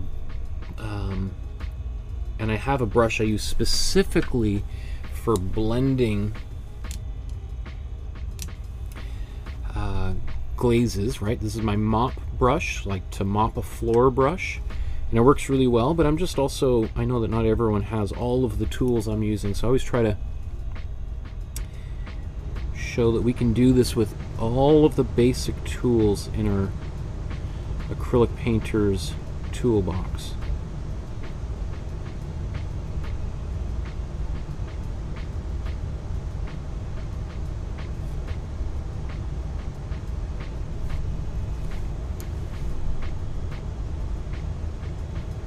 Alright, so this glazing, we can just soften up the edge ever so slightly so it doesn't look so hard and severe.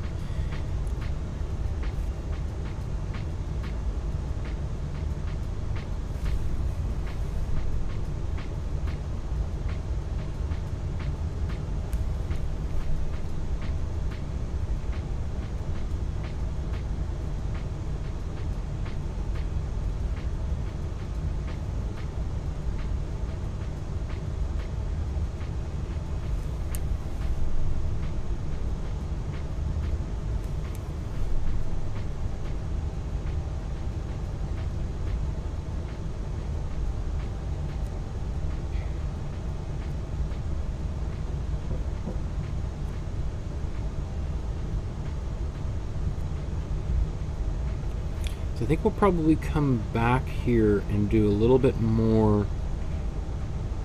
So I think I want to add some green on here first before I do too much more highlights. That's pretty good for right now, right? Actually, maybe before I move on, I'm just gonna go back to my darker blue. Just get this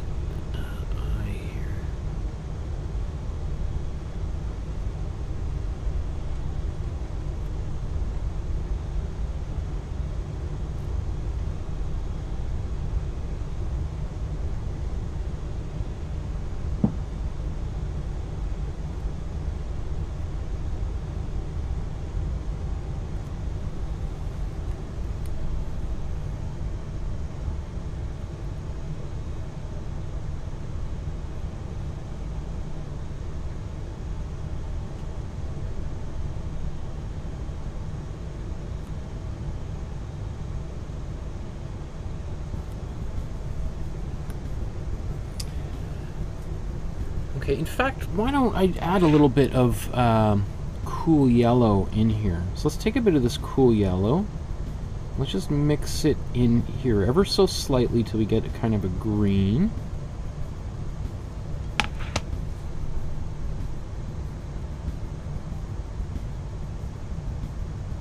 We got this kind of sickly greenish color on here, right? It makes him look like he's like on the verge of death, right? As you can imagine why collectors coming into Ambroise Vollard's gallery are like, uh, yeah, I mean, I guess it's kind of well painted, but I mean, I don't know if I want that on my wall at home. Like, that's kind of disturbing.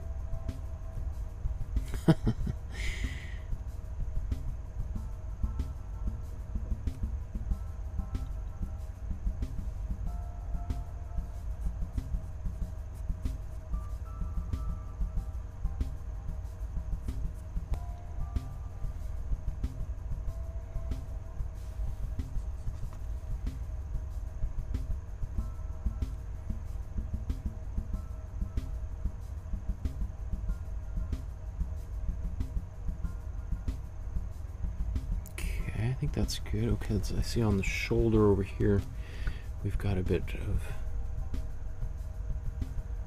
this greenish tint.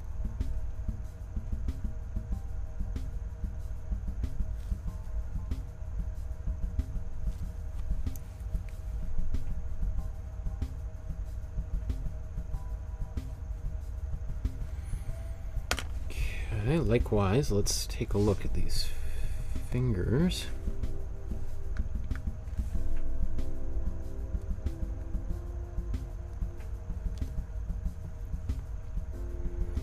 Right, that one pinky finger is just popping up.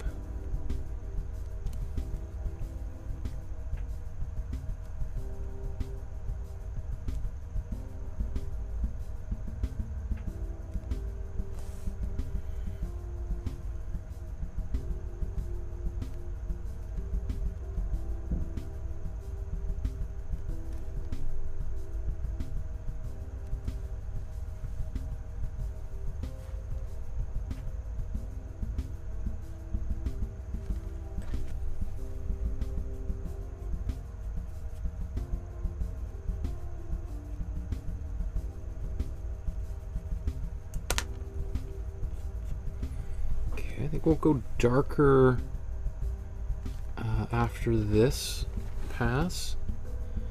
Let's check out this arm.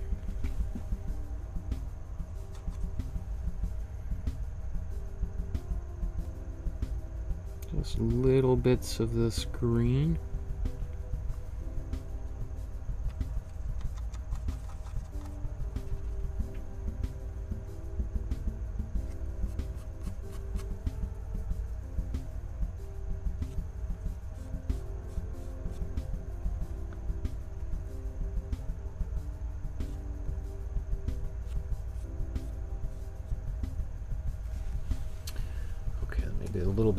On that green, so I'm just going to back off and just get go back to some white.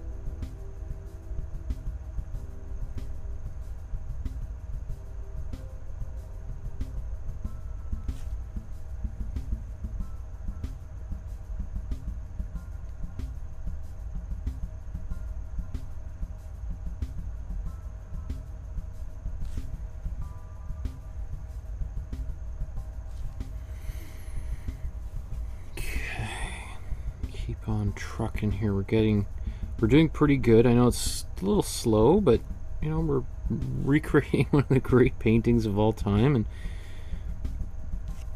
I think we're doing a pretty good job of, of getting the the important details in here too. So.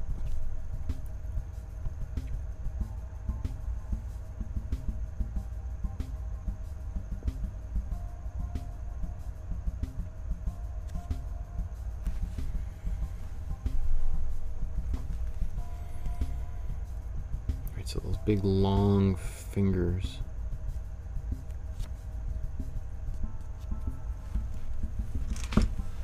That's really important part of this painting.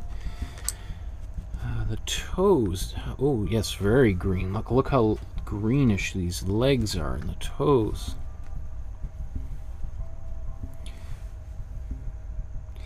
I mean, there is a potential that some of this is from a glaze or a varnish that was done afterwards. You know, infamously, a lot of paintings have been altered by by people who meant well at the time, trying to conserve paintings. Um, so I'm not sure. I mean, this definitely just has, looks like it's been weathered or something has happened on, on this painting.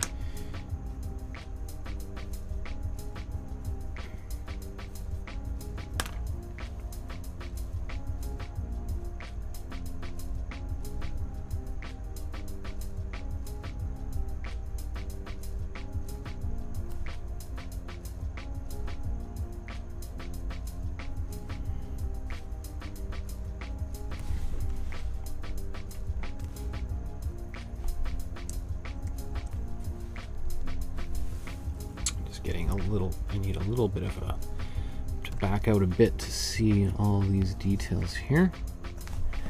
Again, just put a little bit more glazing fluid on there.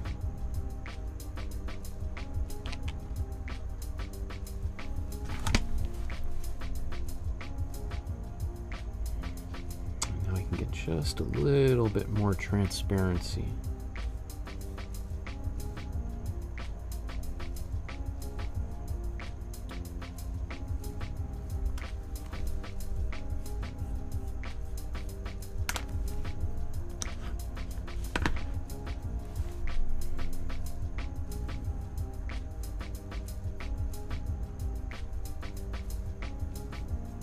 Too is I can just go over top of darker areas with a glaze. Put, put it in place and then just wipe it away. And it'll leave a, it'll kind of tint it a bit, leave a little bit of pigment, but not necessarily brighten it up as severely as one might expect if we were if there wasn't any glazing fluid actually in there like what I'm just doing right here. Applying a bit of this greenish haze onto these, and I'll darken that shortly.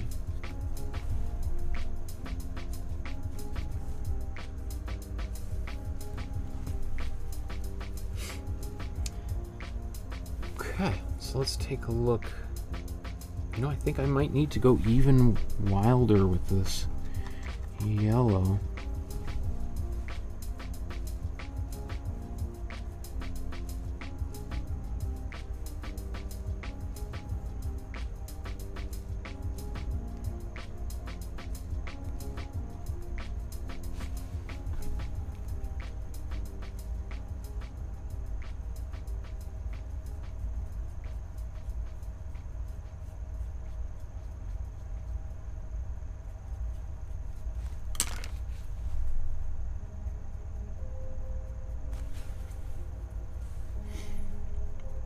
I mean, it's funny, like, when I paint this green here, it, it, has a bit of like a fluorescent, it looks like fluorescent green paint or something.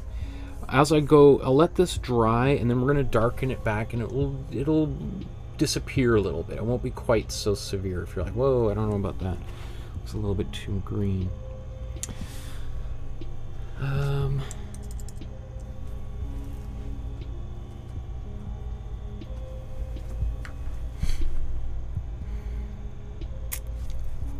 Okay, so I think now I'm going to go back one last time over the body with some darker colors, a darker glaze.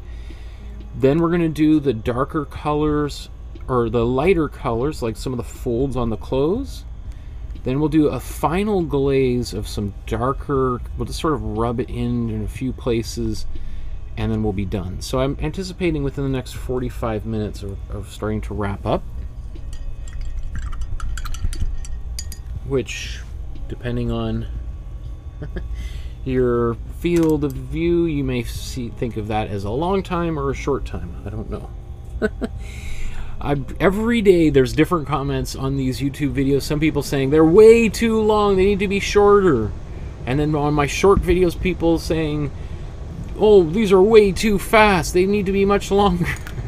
like, that's why I just do what I do, and there's people will find them, and some people love them. If they don't like them, that's okay. Right? And I, that's one of the most important lessons I've learned as an artist is you cannot satisfy everyone. You can satisfy some of the people.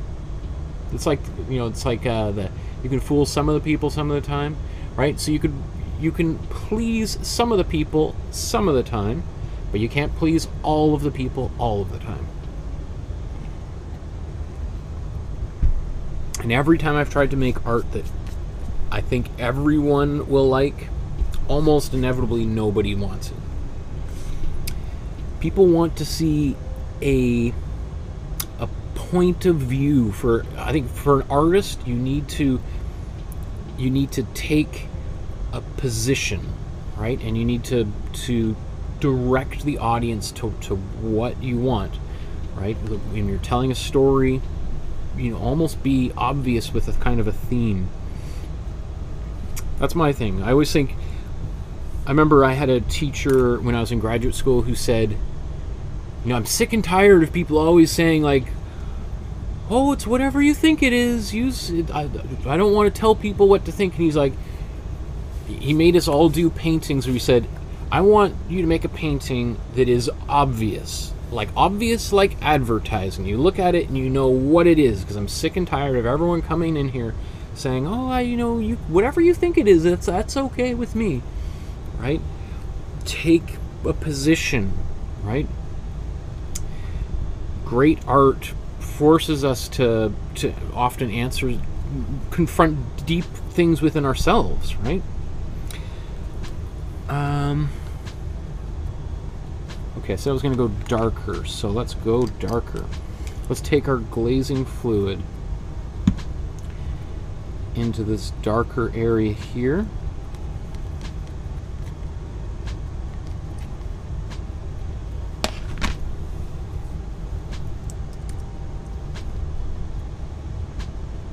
I think we're probably pretty good with the face. You know, I could spend more time in here.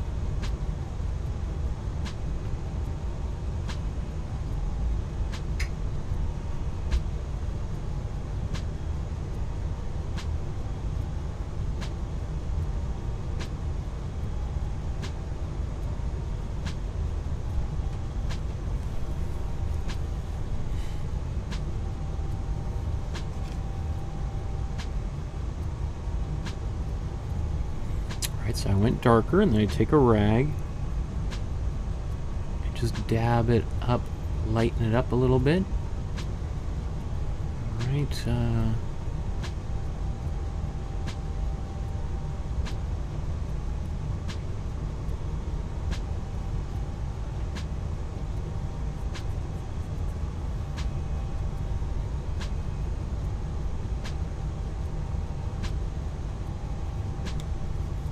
Take my rag again.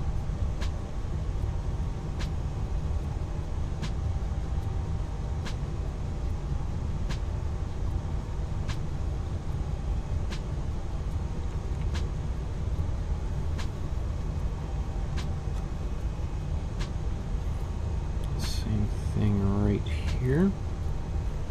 Much darker.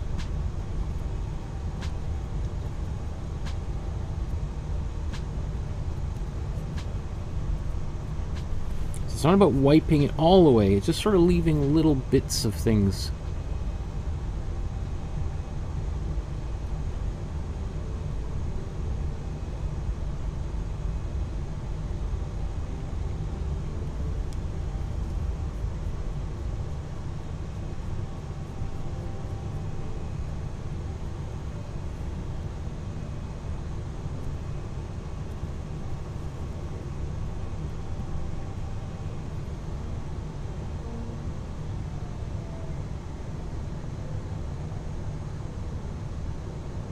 Okay, that might be okay.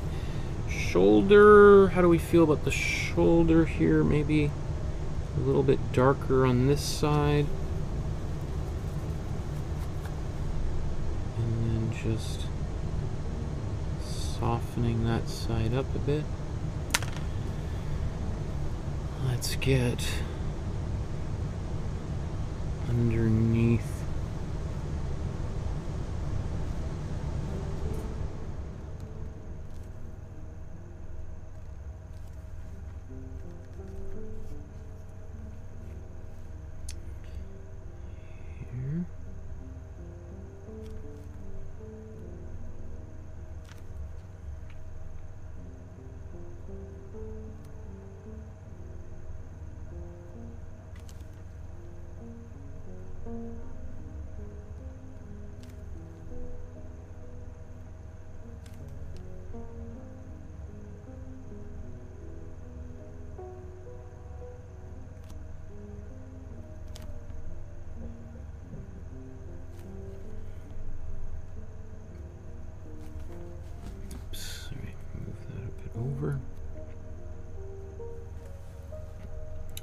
this hand is sort of dissolving into the darkness of that side of the picture, right?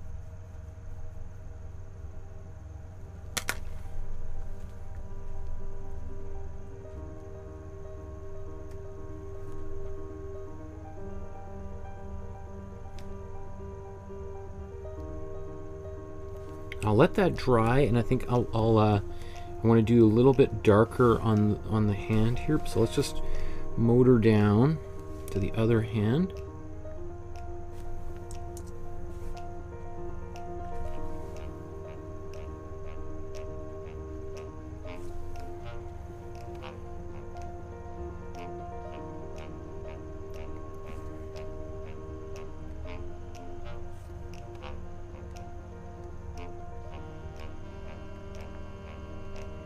So once again, this is cool blue that I added some warm red to to make my darkest color. I haven't used any black. There's not a drop of actual black anywhere in this painting.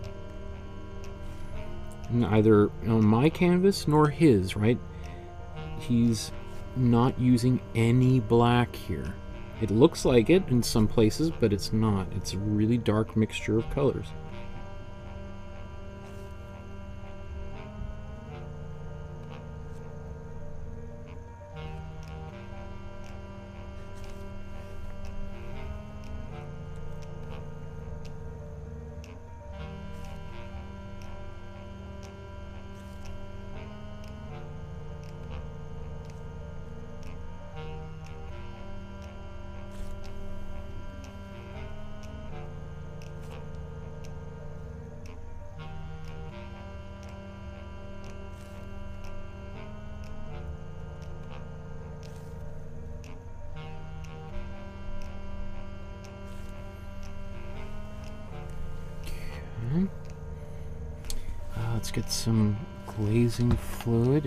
Taking this dark color and some glazing fluid. And then we can put it down underneath here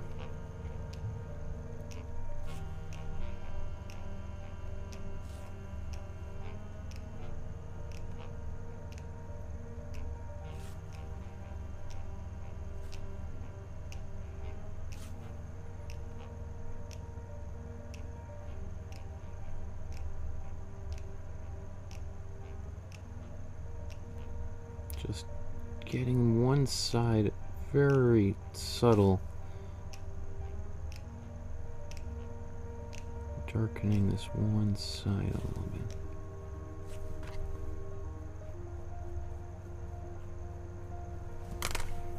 Okay, and just while I'm, I've got that, I'm going to come back up to this hand and do the same thing. Just going to go back over this right side here, darken that, and add just a bit more nuance into these fingers.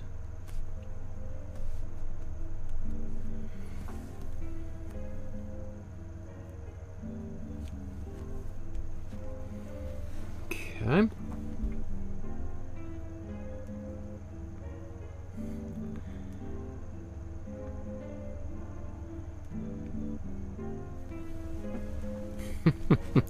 you guys are talking about becoming senior citizens. Pretty funny.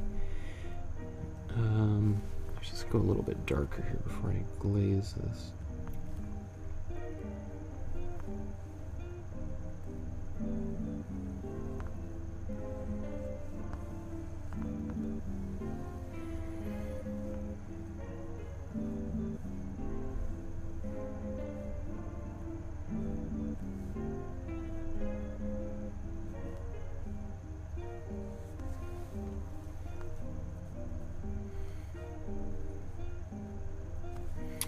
So, you know, I know that at different times this painting, it seemed like we were a long way away from, from being done. And it seemed like a number of unnecessary layers, I suppose some people might say. But hopefully, you know, as the painting evolves, you can kind of see like, oh, I see now why we did a little bit of that. It's because it's the it's the cumulative layering of paint that makes many of the most famous paintings throughout art history work. You know, some people they want the easy, fast way of doing it, which is, you know, that's just how we live in, in today, right? We want everything to be done quickly and painlessly, uh, so we can get back to Netflix. Um, but the reality is, is you know, quality takes time, and you gotta like be a bit patient. And one of the great things that I, one of my favorite things with painting is it forces me to slow down, right? It's just, just no, you just, you have to be patient. Otherwise, you're just gonna drive yourself bonkers. Oops, a little, a little bit of uh, extra dried paint. Sometimes, especially towards the end of a painting like this, gets kind of scooped up.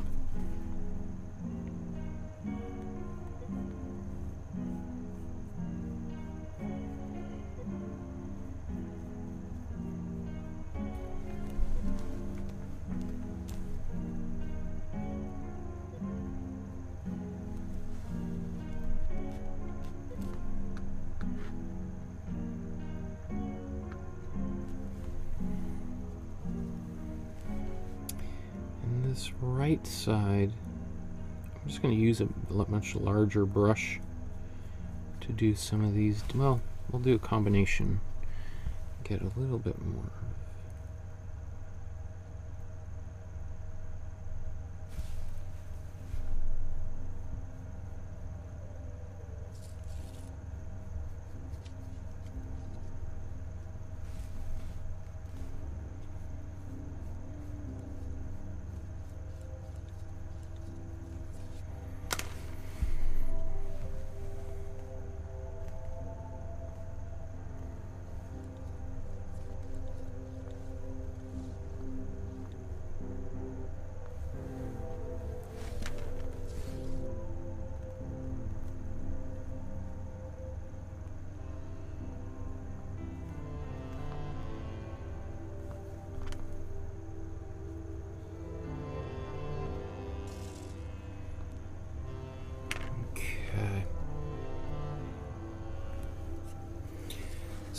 let's once more zoom back out and just take a inventory and see how things are going.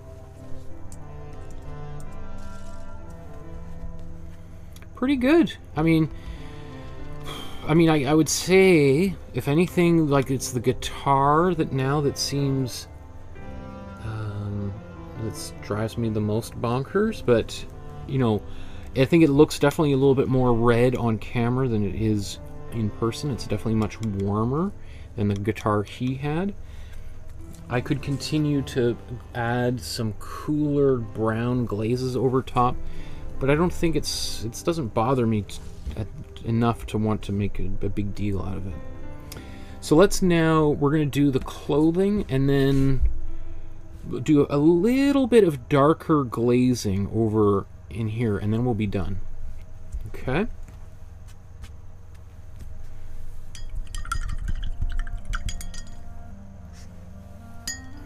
So who's making today's painting with me? Is there anyone out there who's actually painting this painting?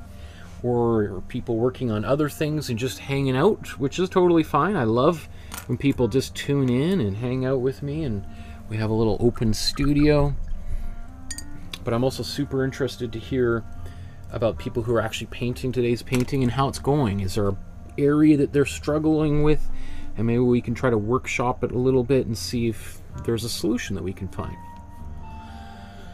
So the fabric again is basically the same colors as the um, as the figures cold blue, especially down here. There might be a little bit of warmer blue up in the clothing up top, the shirt, but really we got cold blue everywhere. So I think what I'm going to do now, uh, uh, let's, I'm to mix a bit more of it.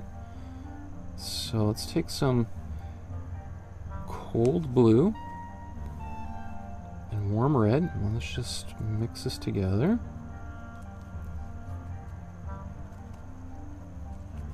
Gets a bit purpley. So I'm going to take a bit of cold yellow, and that's going to keep it in the more grayer area. It's pulling it back towards the neutral core. All right, so now I've got a nice uh, batch of this color, which I can use to maybe to darken, but mostly I'm going to use to lighten things. So let's get a little bit of white on the palette. And then I'm going to just mix a version right here. And then I'm going to mix another version that's a little bit lighter over here. And I think that's the one I'll end up using. And just maybe dab into the other one just to get a bit more. But I'll probably do most of my mixing here. Let's put a bit of glazing fluid in here. so that I can blend and smudge or wipe away the paint as needed.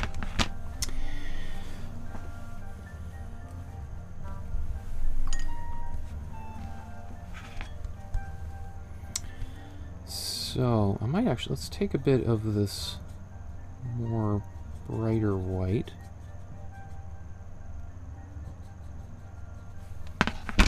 Let's see what this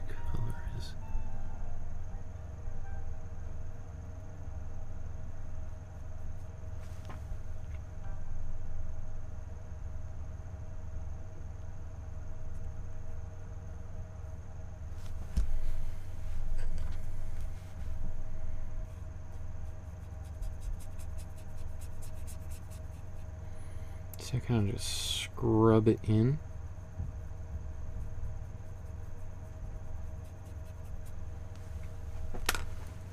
Now I think that was originally a bit more of um, a warm blue, which is why it, it looks a little bit different.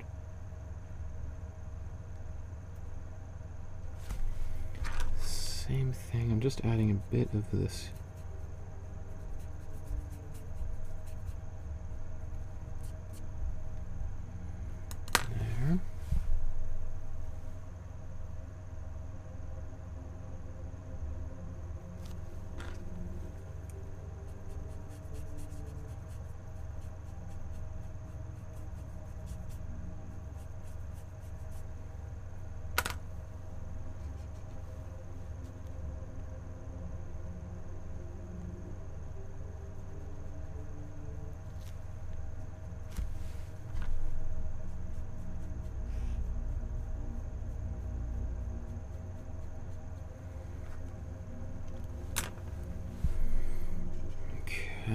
now I'm going, so I was doing a little bit with some of this lighter and then uh, uh with that's been tinted with some white. And then here I'm going back into the darker areas because even though this is lighter it's going to be in the shadow.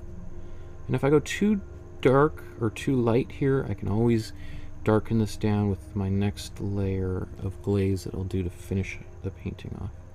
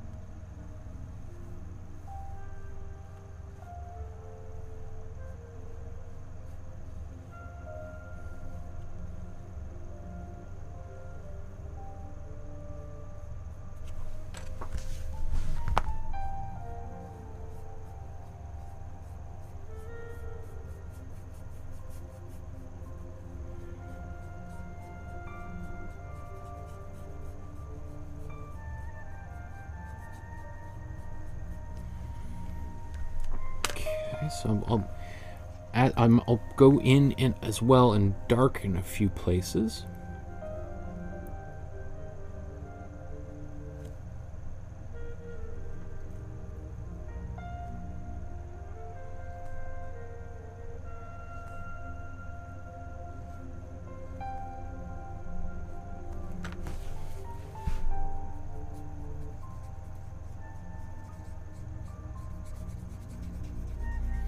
It's just like I'm paint in.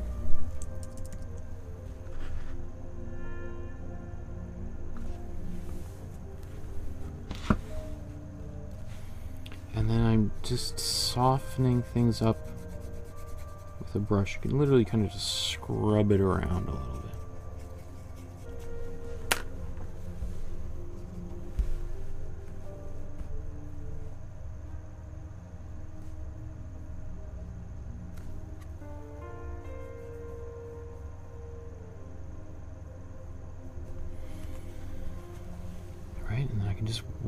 a little bit off onto my hand or onto a rag.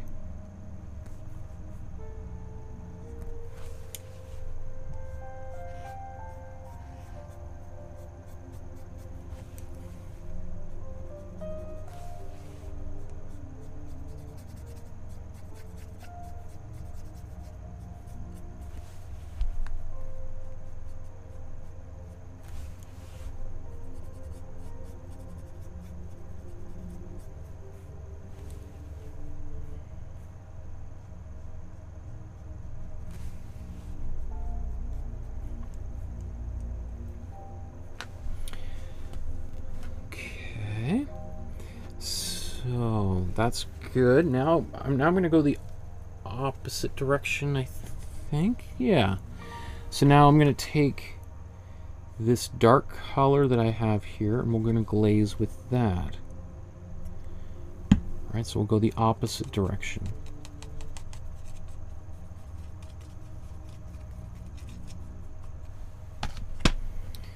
And maybe let's go back up into the shirt here.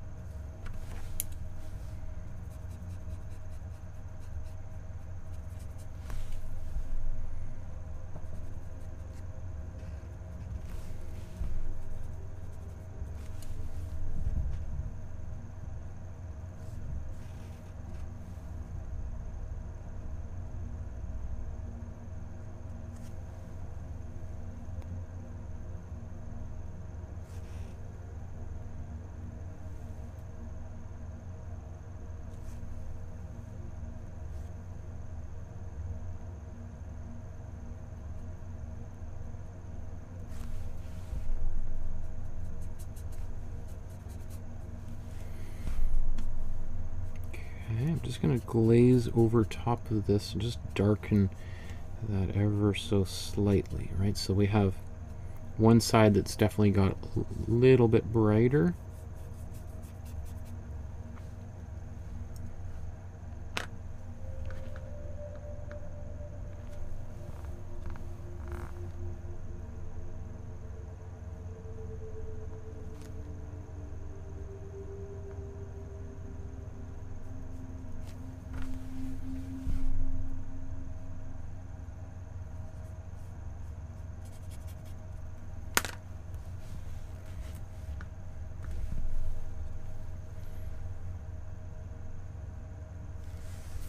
Oh, sorry. Let's go down here.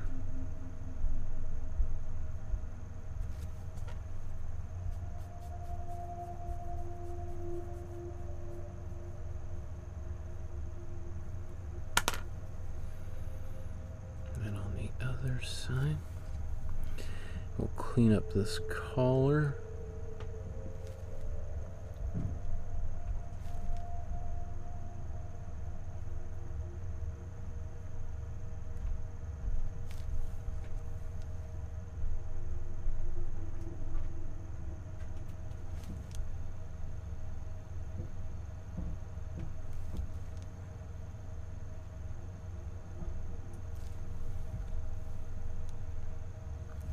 The little tatter.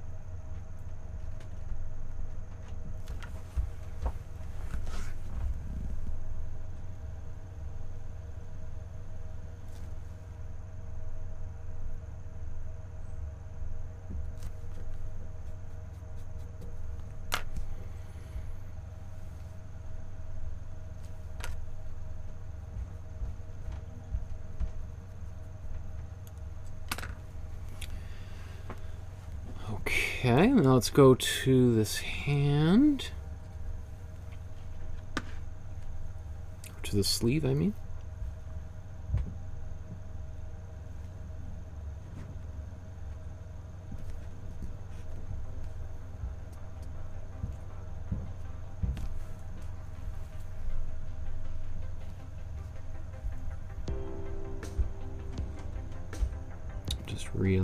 Little problem there I'll fix with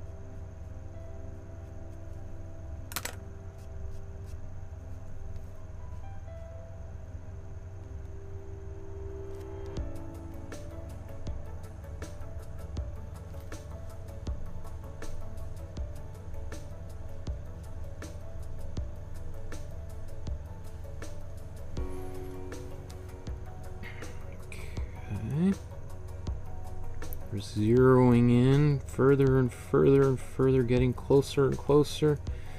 I'd say probably 15 minutes from wrapping up.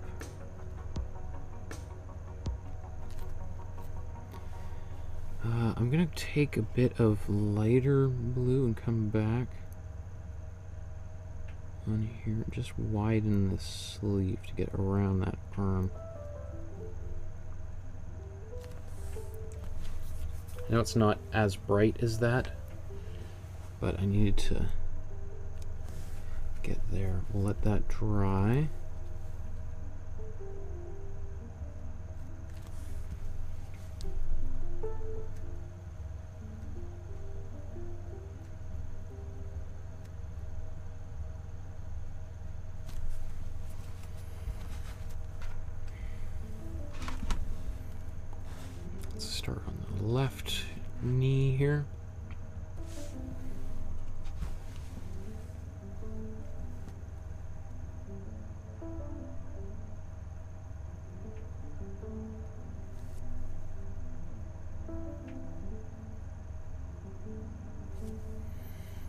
Oops, I just realized I went a little overboard there. That's okay.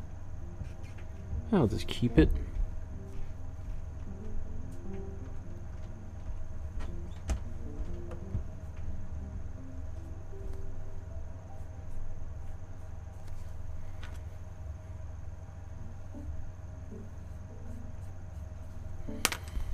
We're going to darken underneath the guitar, again with just my dark color. Warm blue, or sorry, warm red and cool blue.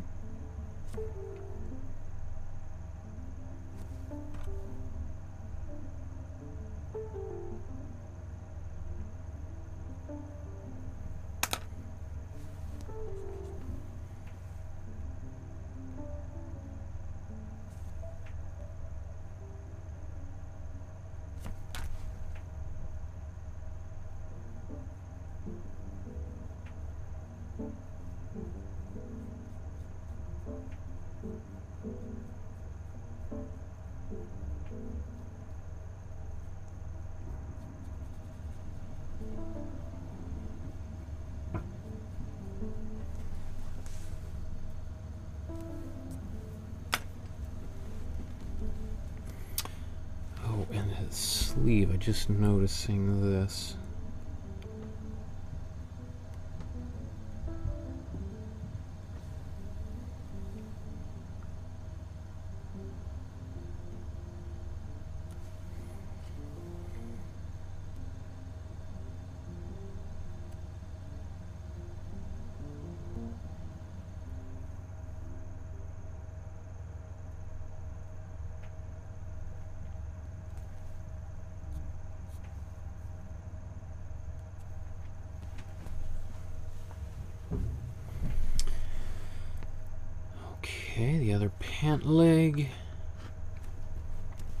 All right, start to feel the the end in sight here.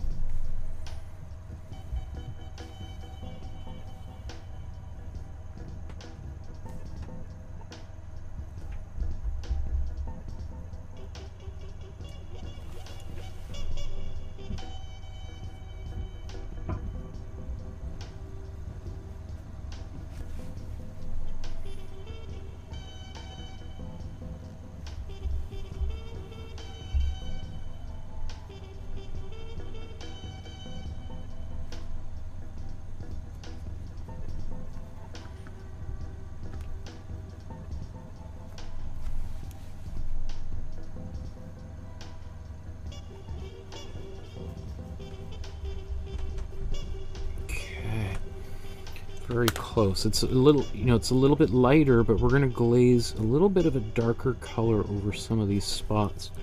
Just to put this whole painting over the top. So.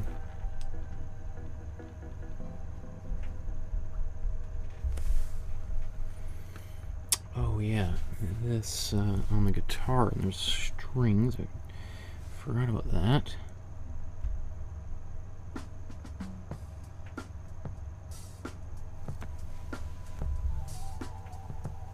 Don't think he used, I think it was more of a brown, so let's get a bit of brown into there, just paint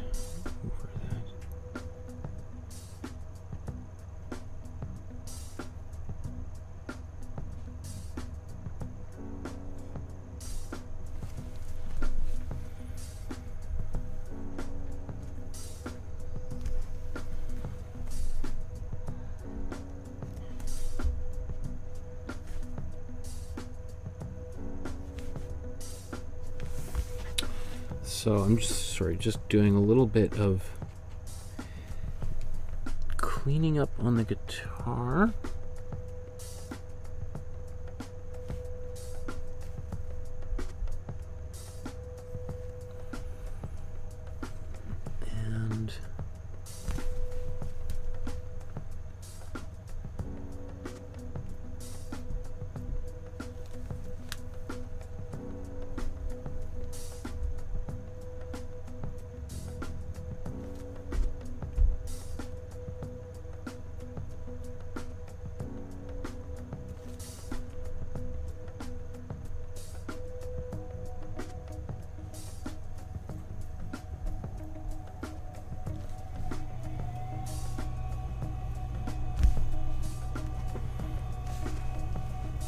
Strings are on this guitar here? One, two, three, four, five, six. I thought so, but you know, don't want to assume anything. It wouldn't have surprised me if there was, you know, if this poor fellow only had three strings or something on there.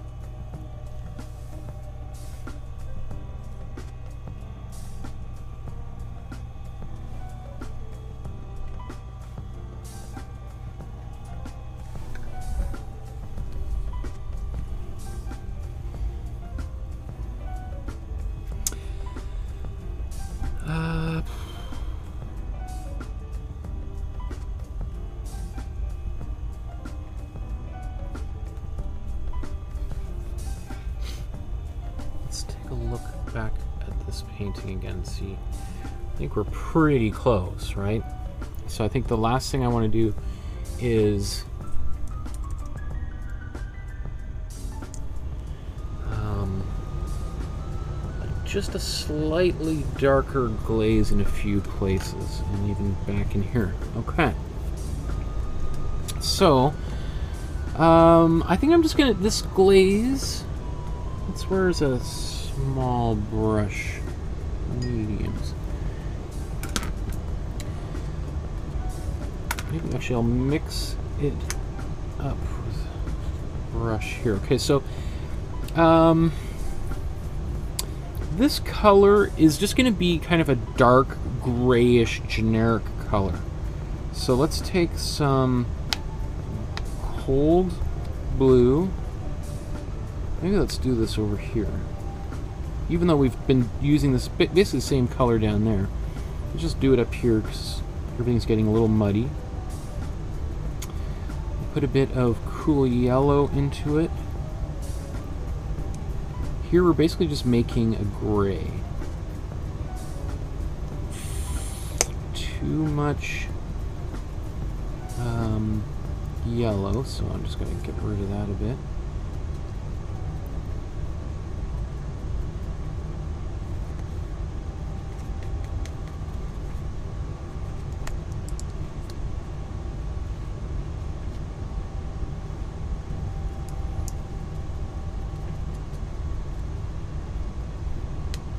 Okay.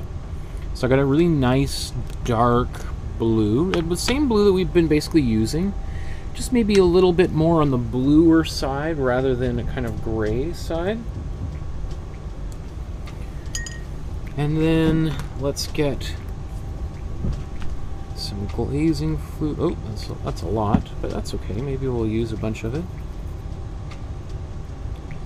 I'm getting it on my brush here, my glazing fluid and then taking a bit of this paint.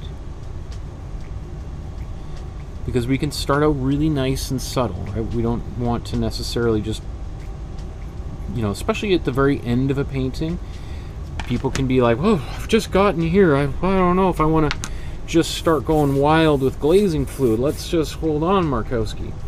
So um, what I want to do is I'm going to apply a bit of this in here and just sort of dirty it up a little bit. We're kind of adding this little bit of a quality, and now I'm just going to use my mop brush. Just this, it's kind of hard to describe, just a little bit of a aged kind of thing that he's got here.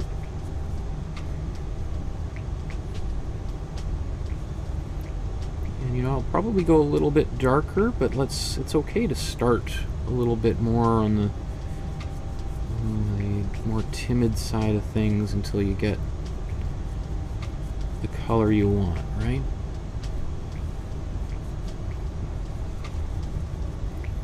You're going to take this and go right over top of this blue, right?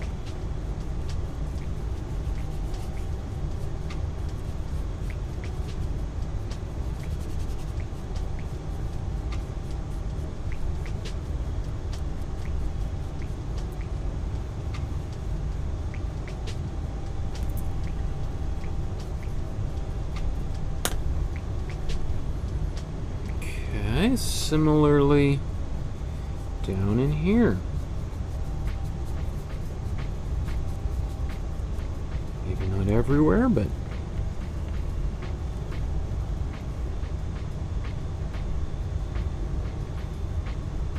go on top of this right leg and just darken this down a bit.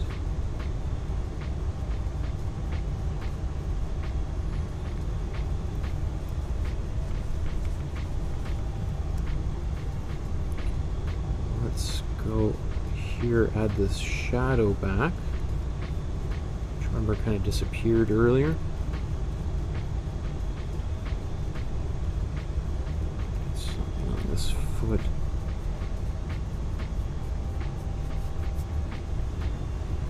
There.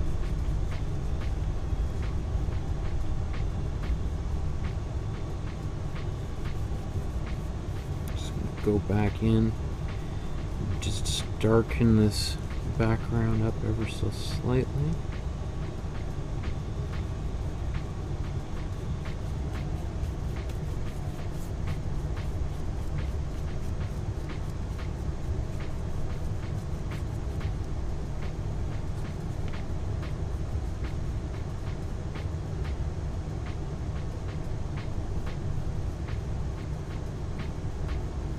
Right, again, I haven't used any black in this entire painting. Not one drip or drop.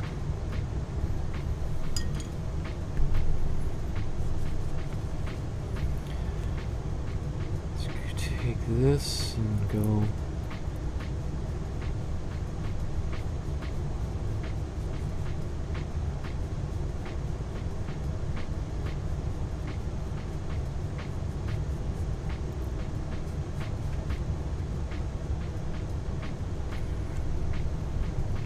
So I love glazing in that we can now just get really fine tune this painting.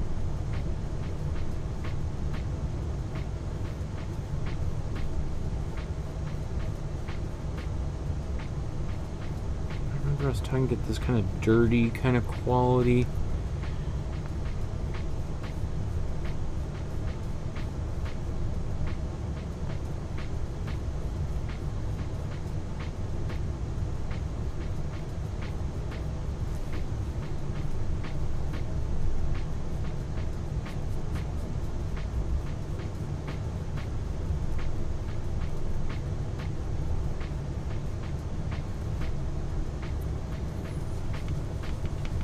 Okay.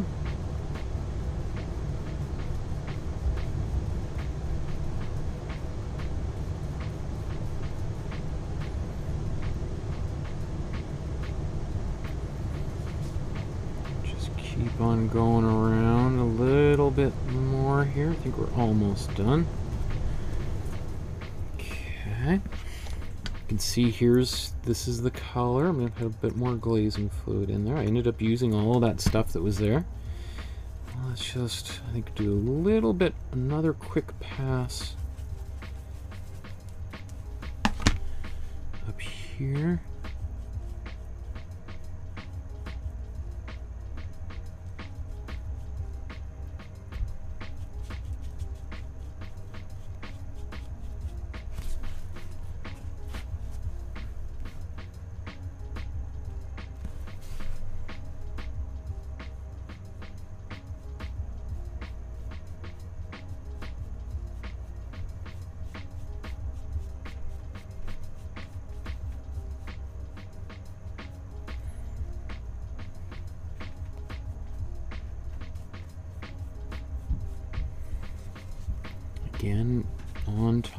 This blue. We get that weird enigmatic kind of bright blue coming through the darker color.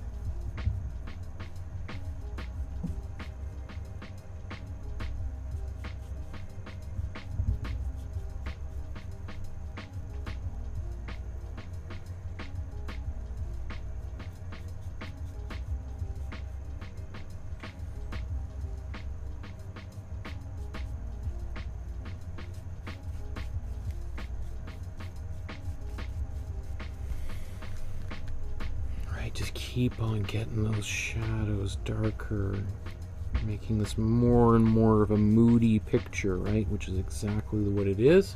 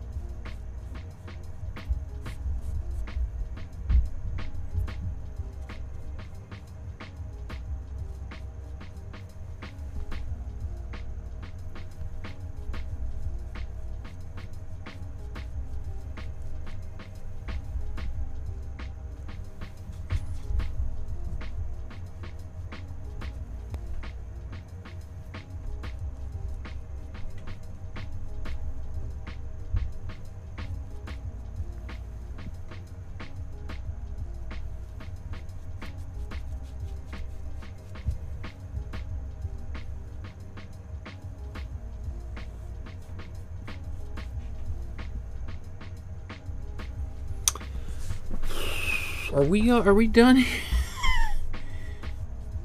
I think I think I'm done. But every time I say that, I'm like, ah, you could do a little more here. It's dangerous. These paintings, they suck you right in, and before you know it, hours of your life disappear.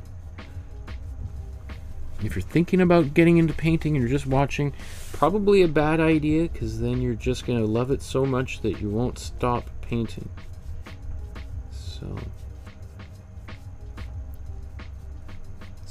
Dangerous hobby of all. It's very, very addictive. and then you find yourself becoming an artist and making it your career, and then it's all hope is lost, right?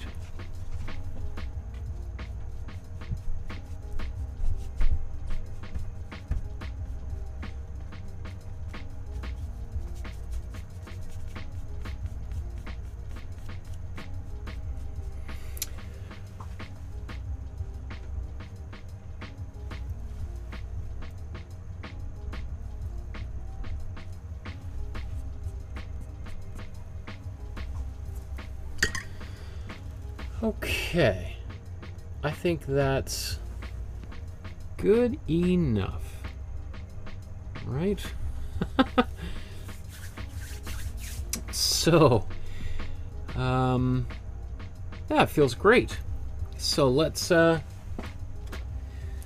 finish up.